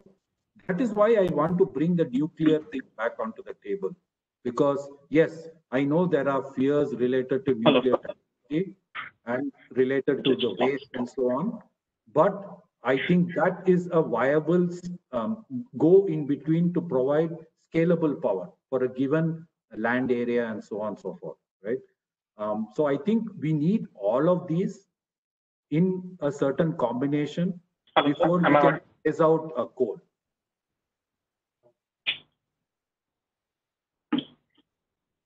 and it's not going to happen uh, overnight. I, I hope that was uh, audible. Hello? Hello, uh, am I audible? Yes, sir. Yes, sir. You're audible. Yeah, okay. Yeah. Uh, the next question is uh, from Rashmi. Uh, just put it forward. Uh, how electronics engineers can contribute towards sustainable energy? Well, um, I think in all those uh, technologies that we talked about, right? One is uh, on the electric mobility space. The second is on the solar and wind wind power. I mean, there's a huge, huge demand for electronic engineers contribute there uh, in terms of solutions as well as in terms of efficiency, right? Uh, of the solutions. So um, I think in all these areas, um, uh, you know, electronic engineers play a critical role, embedded systems, which control all of these, uh, uh, all of these different solutions. And the other thing is, you know, so while you're electronic engineer, please uh, also have the larger understanding of, um, you know, things that we talked about earlier, um, so that you know that your solutions are viable and are feasible and actually address the problem at hand. Um, so I hope that help address it because it is a very generic question. Um, see, in the mobility space, the entire vehicle electronics and embedded engineering, there's a lot of software and hardware that goes into that space. The same is true for your uh, solar grids and your uh, wind power grids and so on. So there's no dearth of opportunities or contribution possible. There's plenty. Okay. Uh, so the next question is, uh, do you think the government is doing enough to promote sustainable energy? See, I think um, the I think the government is active in um, pushing for uh, renewable energy.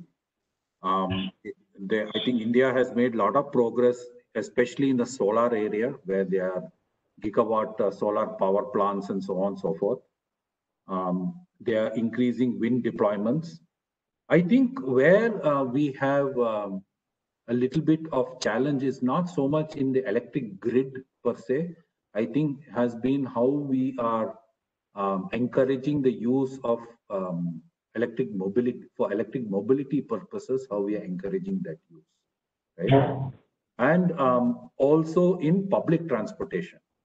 Now there is a challenge. So public transportation the more people use public transportation, the less um, people will use their own personal vehicles. And mass scale public transportation is ripe for electric use. For example, um, electric buses and so on, right? Uh, so I think there's been a little bit of challenge there. I think two-wheeler, three-wheeler, definitely huge scope is there. I think government has been doing, but it requires a little more push.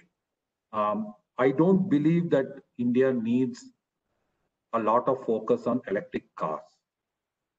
Okay, I think that that is perhaps second priority. I think if we focus on two-wheeler, three-wheeler, last mile transport, electric metro solutions, electric buses, I think that would be a much longer sustainable solution. The only challenge has come because of COVID. Shared mobility has now become a little bit of a challenge. But hopefully with uh, vaccines and drugs uh, on their way, and once we get over this COVID crisis, I think shared electric mobility transport will be very good. And I would love to see more encouragement for that. I don't think we, we should focus on electric cars and so on. I think that will still be high end and it won't really impact the pollution profile as much. I think we need to make people or provide enough infrastructure for public transportation, which can then be electrified. Okay. Uh, the next question is regarding the climate change. I have seen that there are few instances where people are not agreeing on the fact that there is a climate change, greenhouse yeah. effect, and all those things. Uh, you know, what what might be the reason for them to believe this? Is it just because they are just behind the the fact that you know it is it is the economy that is going to suffer? I think it is multiple things. I think one is climate change is not um, what do I say, not easily visible in many parts. I'll tell you why. I'll give I'll, because I'll tell you why. Because so um, climate change has been the word. There are two two two sets of words which have been used synonymously with each other. One is global warming, and second is climate change. Okay, so a lot of people who use the term global warming uh, especially are challenging. What, you, what are you talking about global warming? This winter was very cold right? That winter is very cold because of the uh, changing patterns. I told you a thermohaline cycle is changing and so on, right? So the heat distribution is changing. So that can result in much colder winters in certain parts of the northern hemisphere. So people are then will ask, well, it is suddenly I'm getting a lot of rainfall in Bangalore. So what are you talking that they are having climate change? Everything looks very nice. Yeah, you're getting more rainfall or now there is abnormal rainfall in Chennai because of climate change. So I think it is because different sets of people are seeing different results in their geographies, right? Um, and these changes are happening gradually. It's not happening overnight. See, like COVID, right? Why did people pay attention to COVID? Because in a matter of two months, the world was turned upside down. Okay. Why did COVID happen? It is also impact of unsustainable agricultural practices, in my opinion, uh, which has resulted in this because coronaviruses have existed in bats and other animals for millennia. There are 500 variants of coronavirus. Okay, due to forest depletion and our uh, industrial practices of poultry and animal farming, we have encroached upon forest areas which have brought us closer to natural vectors of coronaviruses like bats and pangolins and all that. So then that then that uh, zoonotic uh, transmission between bat to animal happens much more easily because you have put them in close proximity and because of the way that we consume uh, you know animals and so on and so forth and some sometimes not very hygienic practices it has made the transmission to humans that's why you're seeing so many coronaviruses impacting humans in the last 20 30 years in COVID, uh, the impact was seen in two months. If a climate change impact of global magnitude happens in two months, believe me, nobody will have a question anymore. Ocean, ocean acidification, you can't see it with your eyes, but it is happening and it is changing fishing and uh, life cycle prospects throughout the world, right? So people aren't seeing it in their day-to-day life, right? If you ask me sitting in the house, am I seeing climate change? If I look around, I don't see any climate change. You see what I'm saying, right? It is it is very it is it is it is like a silent killer. Okay. But by the time you realize the change, it may be too late. That's the yeah. problem. Yeah. And yes, the Uh, economic, sorry, um, the economic concerns are there. There are lots of vested interests from all kinds of parties, right? There are vested interests by um, uh, fossil fuel cars against electric vehicles, vested interest by uh, coal and uh, fossil fuel guys against other guys. So there's so many things that happen, right? Uh, when uh, United States became now the world's largest producer of oil and gas because of shale, right? And shale gas is produced by this method called fracking, which nobody understands the consequences of, right? But what happened in COVID? It became so expensive, right? Because OPEC uh, reduced the uh, uh, the price of uh, natural petroleum, and the entire U.S. shale industry went for a six, right? So yes, there is this economic thing which is there, uh, but I think it is also ignorance and the fact that we are not seeing this visibly changing on day-to-day basis, uh, and and the fact that climate has always changed. The important thing to understand is this is changing now at an unnatural speed. That is the point that people need to understand. Yeah, yeah, I completely agree with you. Uh, the next question uh, is from Mr. Anup. He's asking that he's saying that you said in your presentation that don't fit yourself into the coolness of technology and find a solution to a problem based on it.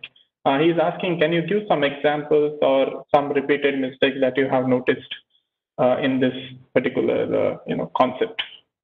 On on just jumping into cool technologies. Yes. Yeah, so let me give you an example, right? So um, um, uh, in in in in um, software development, right?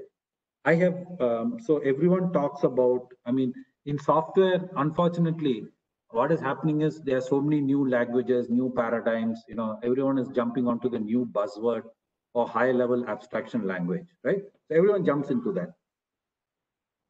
I have yet to see any project or enough enough companies which are developing software and applications and deploying at mass scale who are looking at the uh, energy impacts of doing this. Okay so what do i mean by that? Um, can anyone take a guess how much of electricity is consumed by uh, internet and internet related activities today? Of worldwide energy production? Anyone can take a guess Yeah, you can post it in the chat box. Any guesses? Or from you, uh, Professor Fernandez, any summarize the value we can provide? I think it might go in gigawatts. I, I'm just assuming. I mean, all the computing and all the internet. Yeah. So let's look at that, right? So Yeah. about approximately about um, seven to eight percent now of global el- electricity produ- production is going towards internet and internet associated technologies. That is running data centers, running your networking infrastructure, power consumption by your mobiles, and so on and so forth. Right? These are all very cool technologies. But what are they used for? What is most of the internet being used for? For uploading selfies, for uploading um, some video that you will never again see in your life, sharing millions of videos on, uh, you know, um, uh, somebody having ice cream or somebody, some uh, actor doing farming in some village, right? So just look at that wastage. Cool technology, right? You can share lots of things, but look at the wastage which is going on. Seven to eight percent of total electricity production worldwide, and it is the fastest growing one because technology use is exploding. Have you? I have yet to see any curriculum or companies actually looking at is your piece of software while performing how energy efficient is it? Because finally, all these applications are running on CPUs, which and which have uh, you know require a lot of memory, require a lot of interconnects, networking equipment, and so on and so forth. Right? So all cool technologies, but it comes at a cost. Right? Um, gone are the days of efficient programming because our economic model dictates first to the post wins, even though if, if even if it is highly inefficient. Look at our models for uh, e-commerce, right? You want to buy one gulab jamun, you will call Swiggy, right? So what does that guy do? I mean, see the amount of energy consumed to bring your one gulab jamun to your house. I'm not saying that these are not cool things. These are all useful things, but there also has to be a balance, right? And the balance can only come from us. Yeah. Uh, the next question is uh, by Mr. Noel.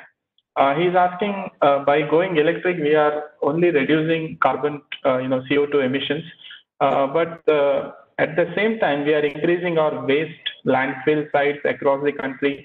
Uh, you know, we are exponentially increasing the methane emission with which, uh, impo- you know, a potent uh, greenhouse gas. Uh, can this problem be solved in India? Yeah, so um, so the electric vehicle, that's why, so i- i- there has to be a educated assessment, right? So let's look at the uh, electric vehicle space. Yes, we are reducing carbon dioxide, we are re- reducing all some other nitrous gases and so on and so forth, uh, which come as a consequence of the fossil fuel industry, right?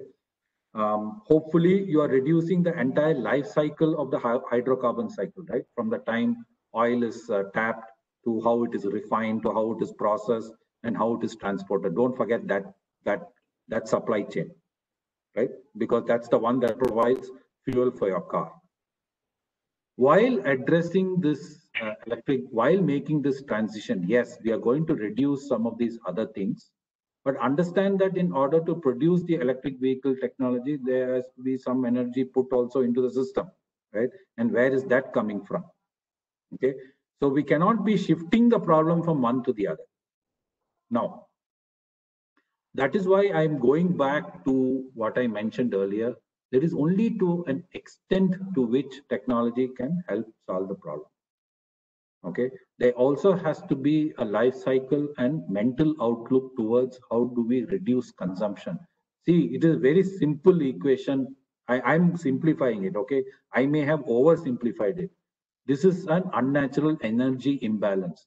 We have to solve this energy imbalance. Basic energy imbalance is what? We are warming the planet due to our activities. As simple as that, right? And why we are warming the planet? Because we are consuming a lot more energy that can be absorbed by the environment or by nature. Is as simple as that, right? And if technology can only get us so far, the only other way is we have to consume or generate less per capita. There is no other way. That is my summary in the last few slides, right? While we do make this transition, you're perfectly right. There will be waste coming from electric batteries. We have to recycle that. You have to do all that stuff. I don't dispute that. I will be the first one to say that. That is why net net we need we need to change the way that we are thinking and living. There is no other way. I don't see any other way as we increase our population. I mean, unless somebody can just look at look at the mathematics of the equation. Increasing population, if you maintain per capita the same, you're not solving the energy imbalance. If you're increasing population, if you want to keep the energy the same as today, right? You have to reduce consumption. There is no other way. And if you want to revert back to um, uh, you know emission levels in 2000, you have to further reduce consumption. Yeah. Uh, the next question is uh, on uh, 5G technology. If you see nowadays the buzzword is 5G technology, so we have one of the participants, Ms. Chaitra, who is asking that uh, does it have any kind of an environmental impact? I mean, to tell there is there's a lot of uh, you know things that are going on saying that 5G will cause more damage to the environment and so on. Uh, what is your opinion on that? Okay, so my opinion is well. So 5G provides you very rapid, uh, much higher data rates than before, right? In on on your connectivity. So what happens when you have much higher data rates? It's human behavior. We stream a lot more content. We upload a lot more content. Right? I mean, Yeah. uh, uh, I mean that's natural human behavior. We, we are going to do that. Therein lies your answer. Right? So uh, as we stream more content, upload more content, um, global energy electricity usage because it's electricity usage. You need to charge your phone. You need to have that uh, networking equipment, high bandwidth, a lot more of that. Right? There's going to be more RF production. All that comes from your electrical energy. Right? So if your overall consumption is going to increase, yes, it will have a negative impact. Yes, sir. So, Yeah. so, so it's not because of 5G, it's because of how we plan to use 5G. Exactly. Okay. Uh, the next question is from Mr. Vijay. He's asking, what is your view on circular economy? Uh, most of the developing countries are facing the problem of waste management. You know, what is what is the solution? I think there are two questions over there. Yeah, so the, what's the first question again, Professor Fernandez? Sorry. Your your view on uh, circular economy? Circular economy, that is the depend, hyper, uh, interdependent economy. Yeah. Okay, and the second question is? Uh, most of the developing countries are facing a major problem of waste management. Is there any effective solution to address that waste management problem? Okay, all right. So interdep- interdependent economy, I think a lot of people questioning that. I think um, it's had a lot of benefit in terms of um, providing quote unquote income and economic opportunities across the globe, right? And it has also brought, well, I don't know whether it has, but hopefully it has brought nations somewhat closer together so we find less reasons to fight or blow each other up. Right?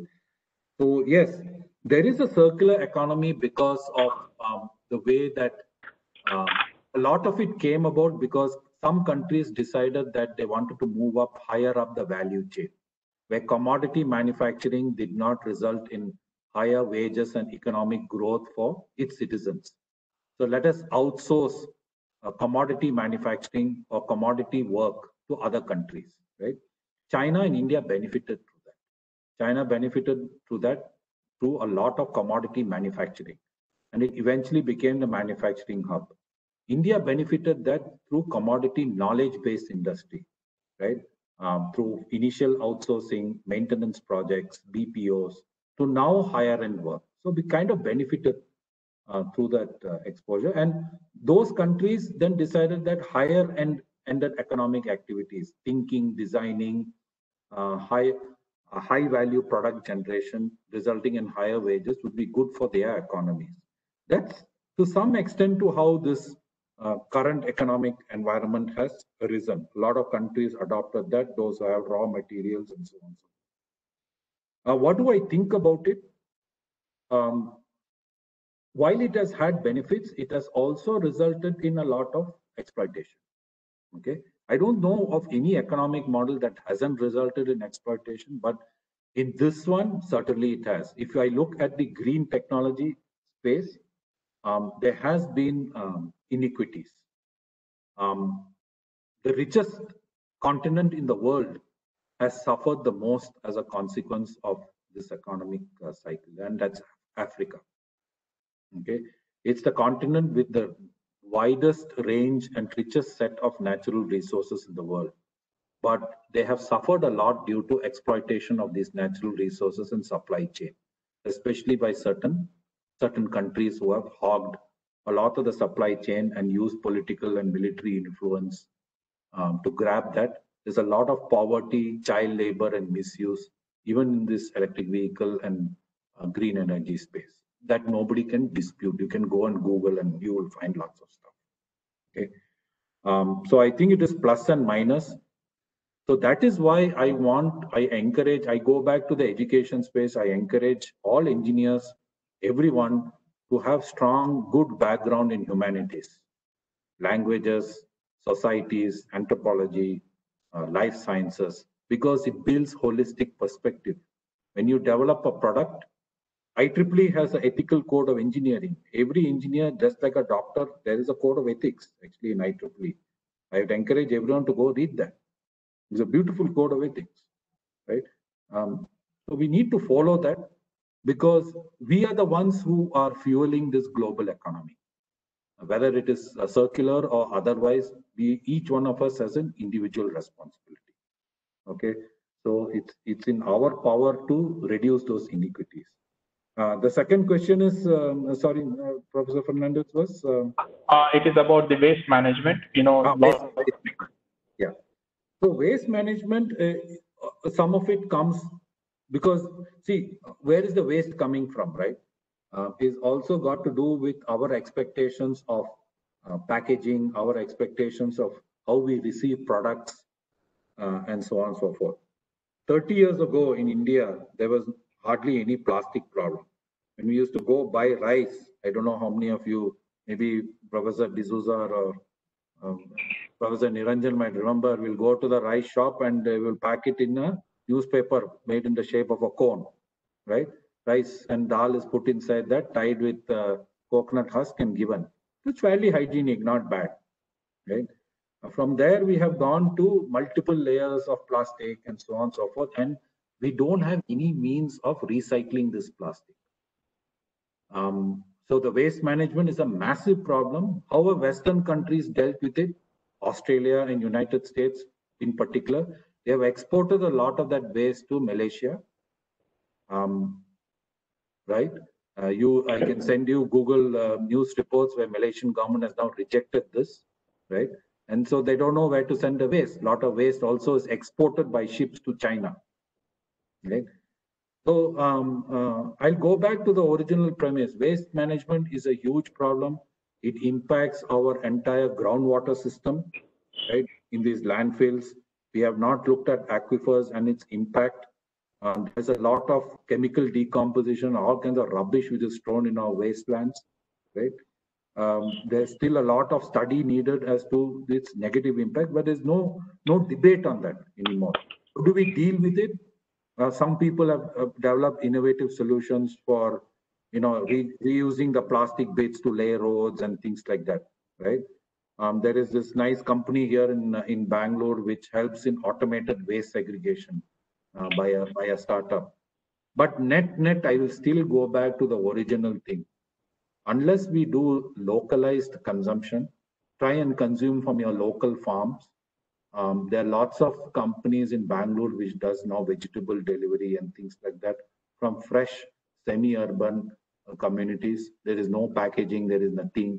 It doesn't go to the big shops and gets packaged and stored there, refrigerated. Comes to your house.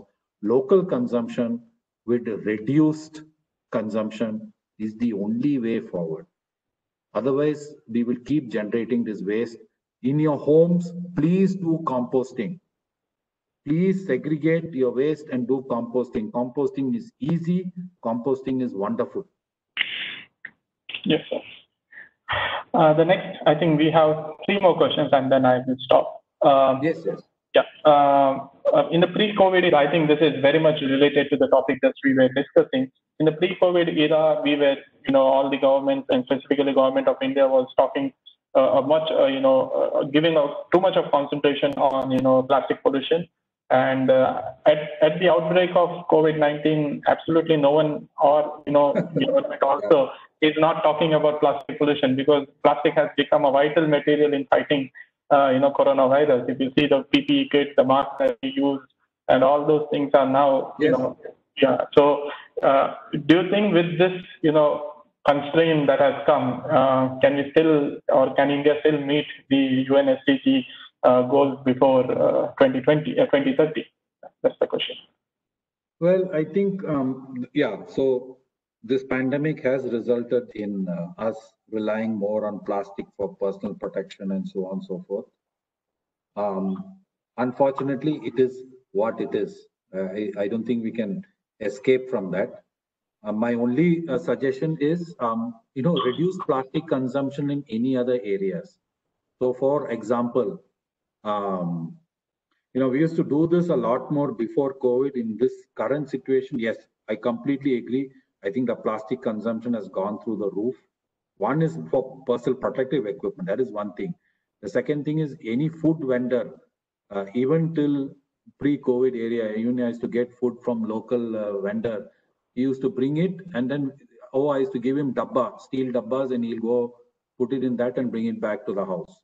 All those days are gone because of uh, uh you know contactless and things like that. Right? The same is true for Amazon. I think even more plastic packaging is now being put.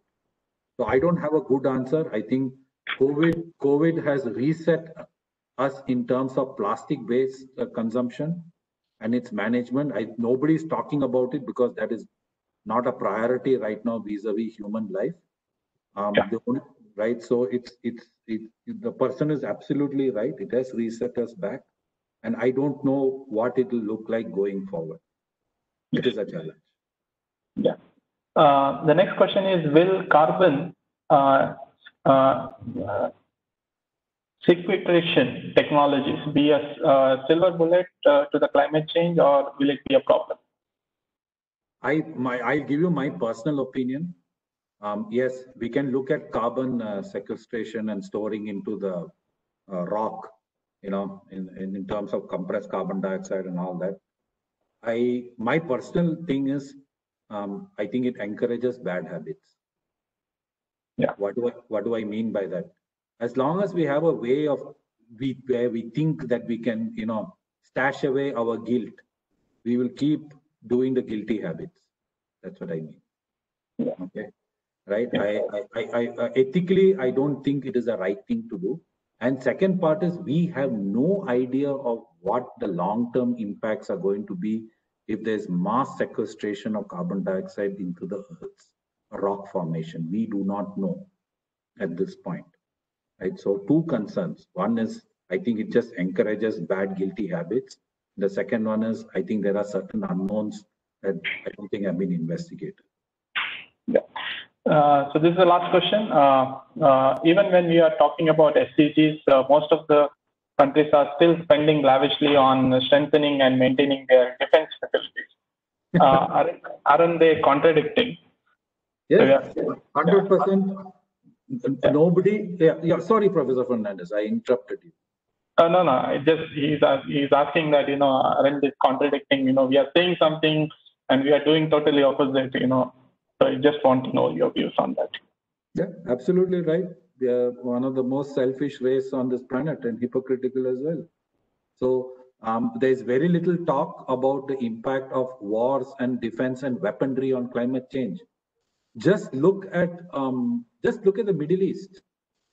Okay, from 2000 from 1990 till today, um, the amount of burning oil wells, uh, whether it is because of the Persian Gulf War One and War Two, or due to ISIS, uh, the amount of weapons, you know, um, blowing up, and the pollutants thereof, and the impacts on those countries, nobody wants to talk about that. I think wars and weaponry has had a devastating impact on especially local climates. And when I talk of local climates, I'm talking specifically water and soil. Right? Um, and, and in many cases, air as well. I mean, burning oil fields were, uh, people are very happy to talk about burning wildfires in Australia because it impacts certain developed countries. Hardly anyone is talking about burning uh, wildfires in Borneo in Southeast Asia. Nobody wants to talk about burning oil fields uh, in uh, the Middle East. It's, uh, um, it's, it's, it's a devastating impact. Right? So yes, um, the, the, the person who asked this question is absolutely right. They're completely contradictory. And we are consuming a lot of Earth's natural resources for producing weapons. The amount of energy required to produce weapons is tremendous. Yes. Right? So, So I think uh, we have come to the end of the Q&A. I think we had a very good session followed by a very good Q&A. And uh, now I request uh, uh, Sharun Mendonca uh, to you know, propose the vote of thanks. Over to you, Sharun. Uh, Good evening, all. Mm, I deem it a great honor and privilege to propose the vote of thanks in this occasion. I express heartfelt thanks to our resource person, Mr. Narayan Subramaniam, for his sharing knowledge, enlightening us in various factors uh, in sustainable environment and projects. Thank you, sir, from entire St. Joseph Engineering College management and faculty. thank you very much. We are grateful to Dr. UC Niranjan, IE IEEE Mangalore Subsection Chair, for his initial words at the start of the webinar. I thank sir in his absence. My heartfelt thanks for our beloved principal, Dr. Rio D'Souza, for his valuable guidance. I owe special gratitude to SJEC management for their valuable suggestions and support in conducting this webinar. My heartfelt thanks to Mr. Keith Fernandez for conducting, coordinating and leading this webinar. I thank all the participants for their active participation and raising the questions. I thank all who supported directly or indirectly in conducting this seminar. Thank you all. Big thank you too as well, Sharun. Uh, so we have come to the end of the uh, webinar. Uh, uh, thank you, sir, for a wonderful session. Uh, I think the feedback has been already shared. Uh, please fill it up. Uh, it will help us to make our upcoming webinars better. So with this, uh, uh, we will sign off. Uh, thank you very much for joining. We'll see you next time. Thank you very much. Thank you very much. Have a good day. Thank you.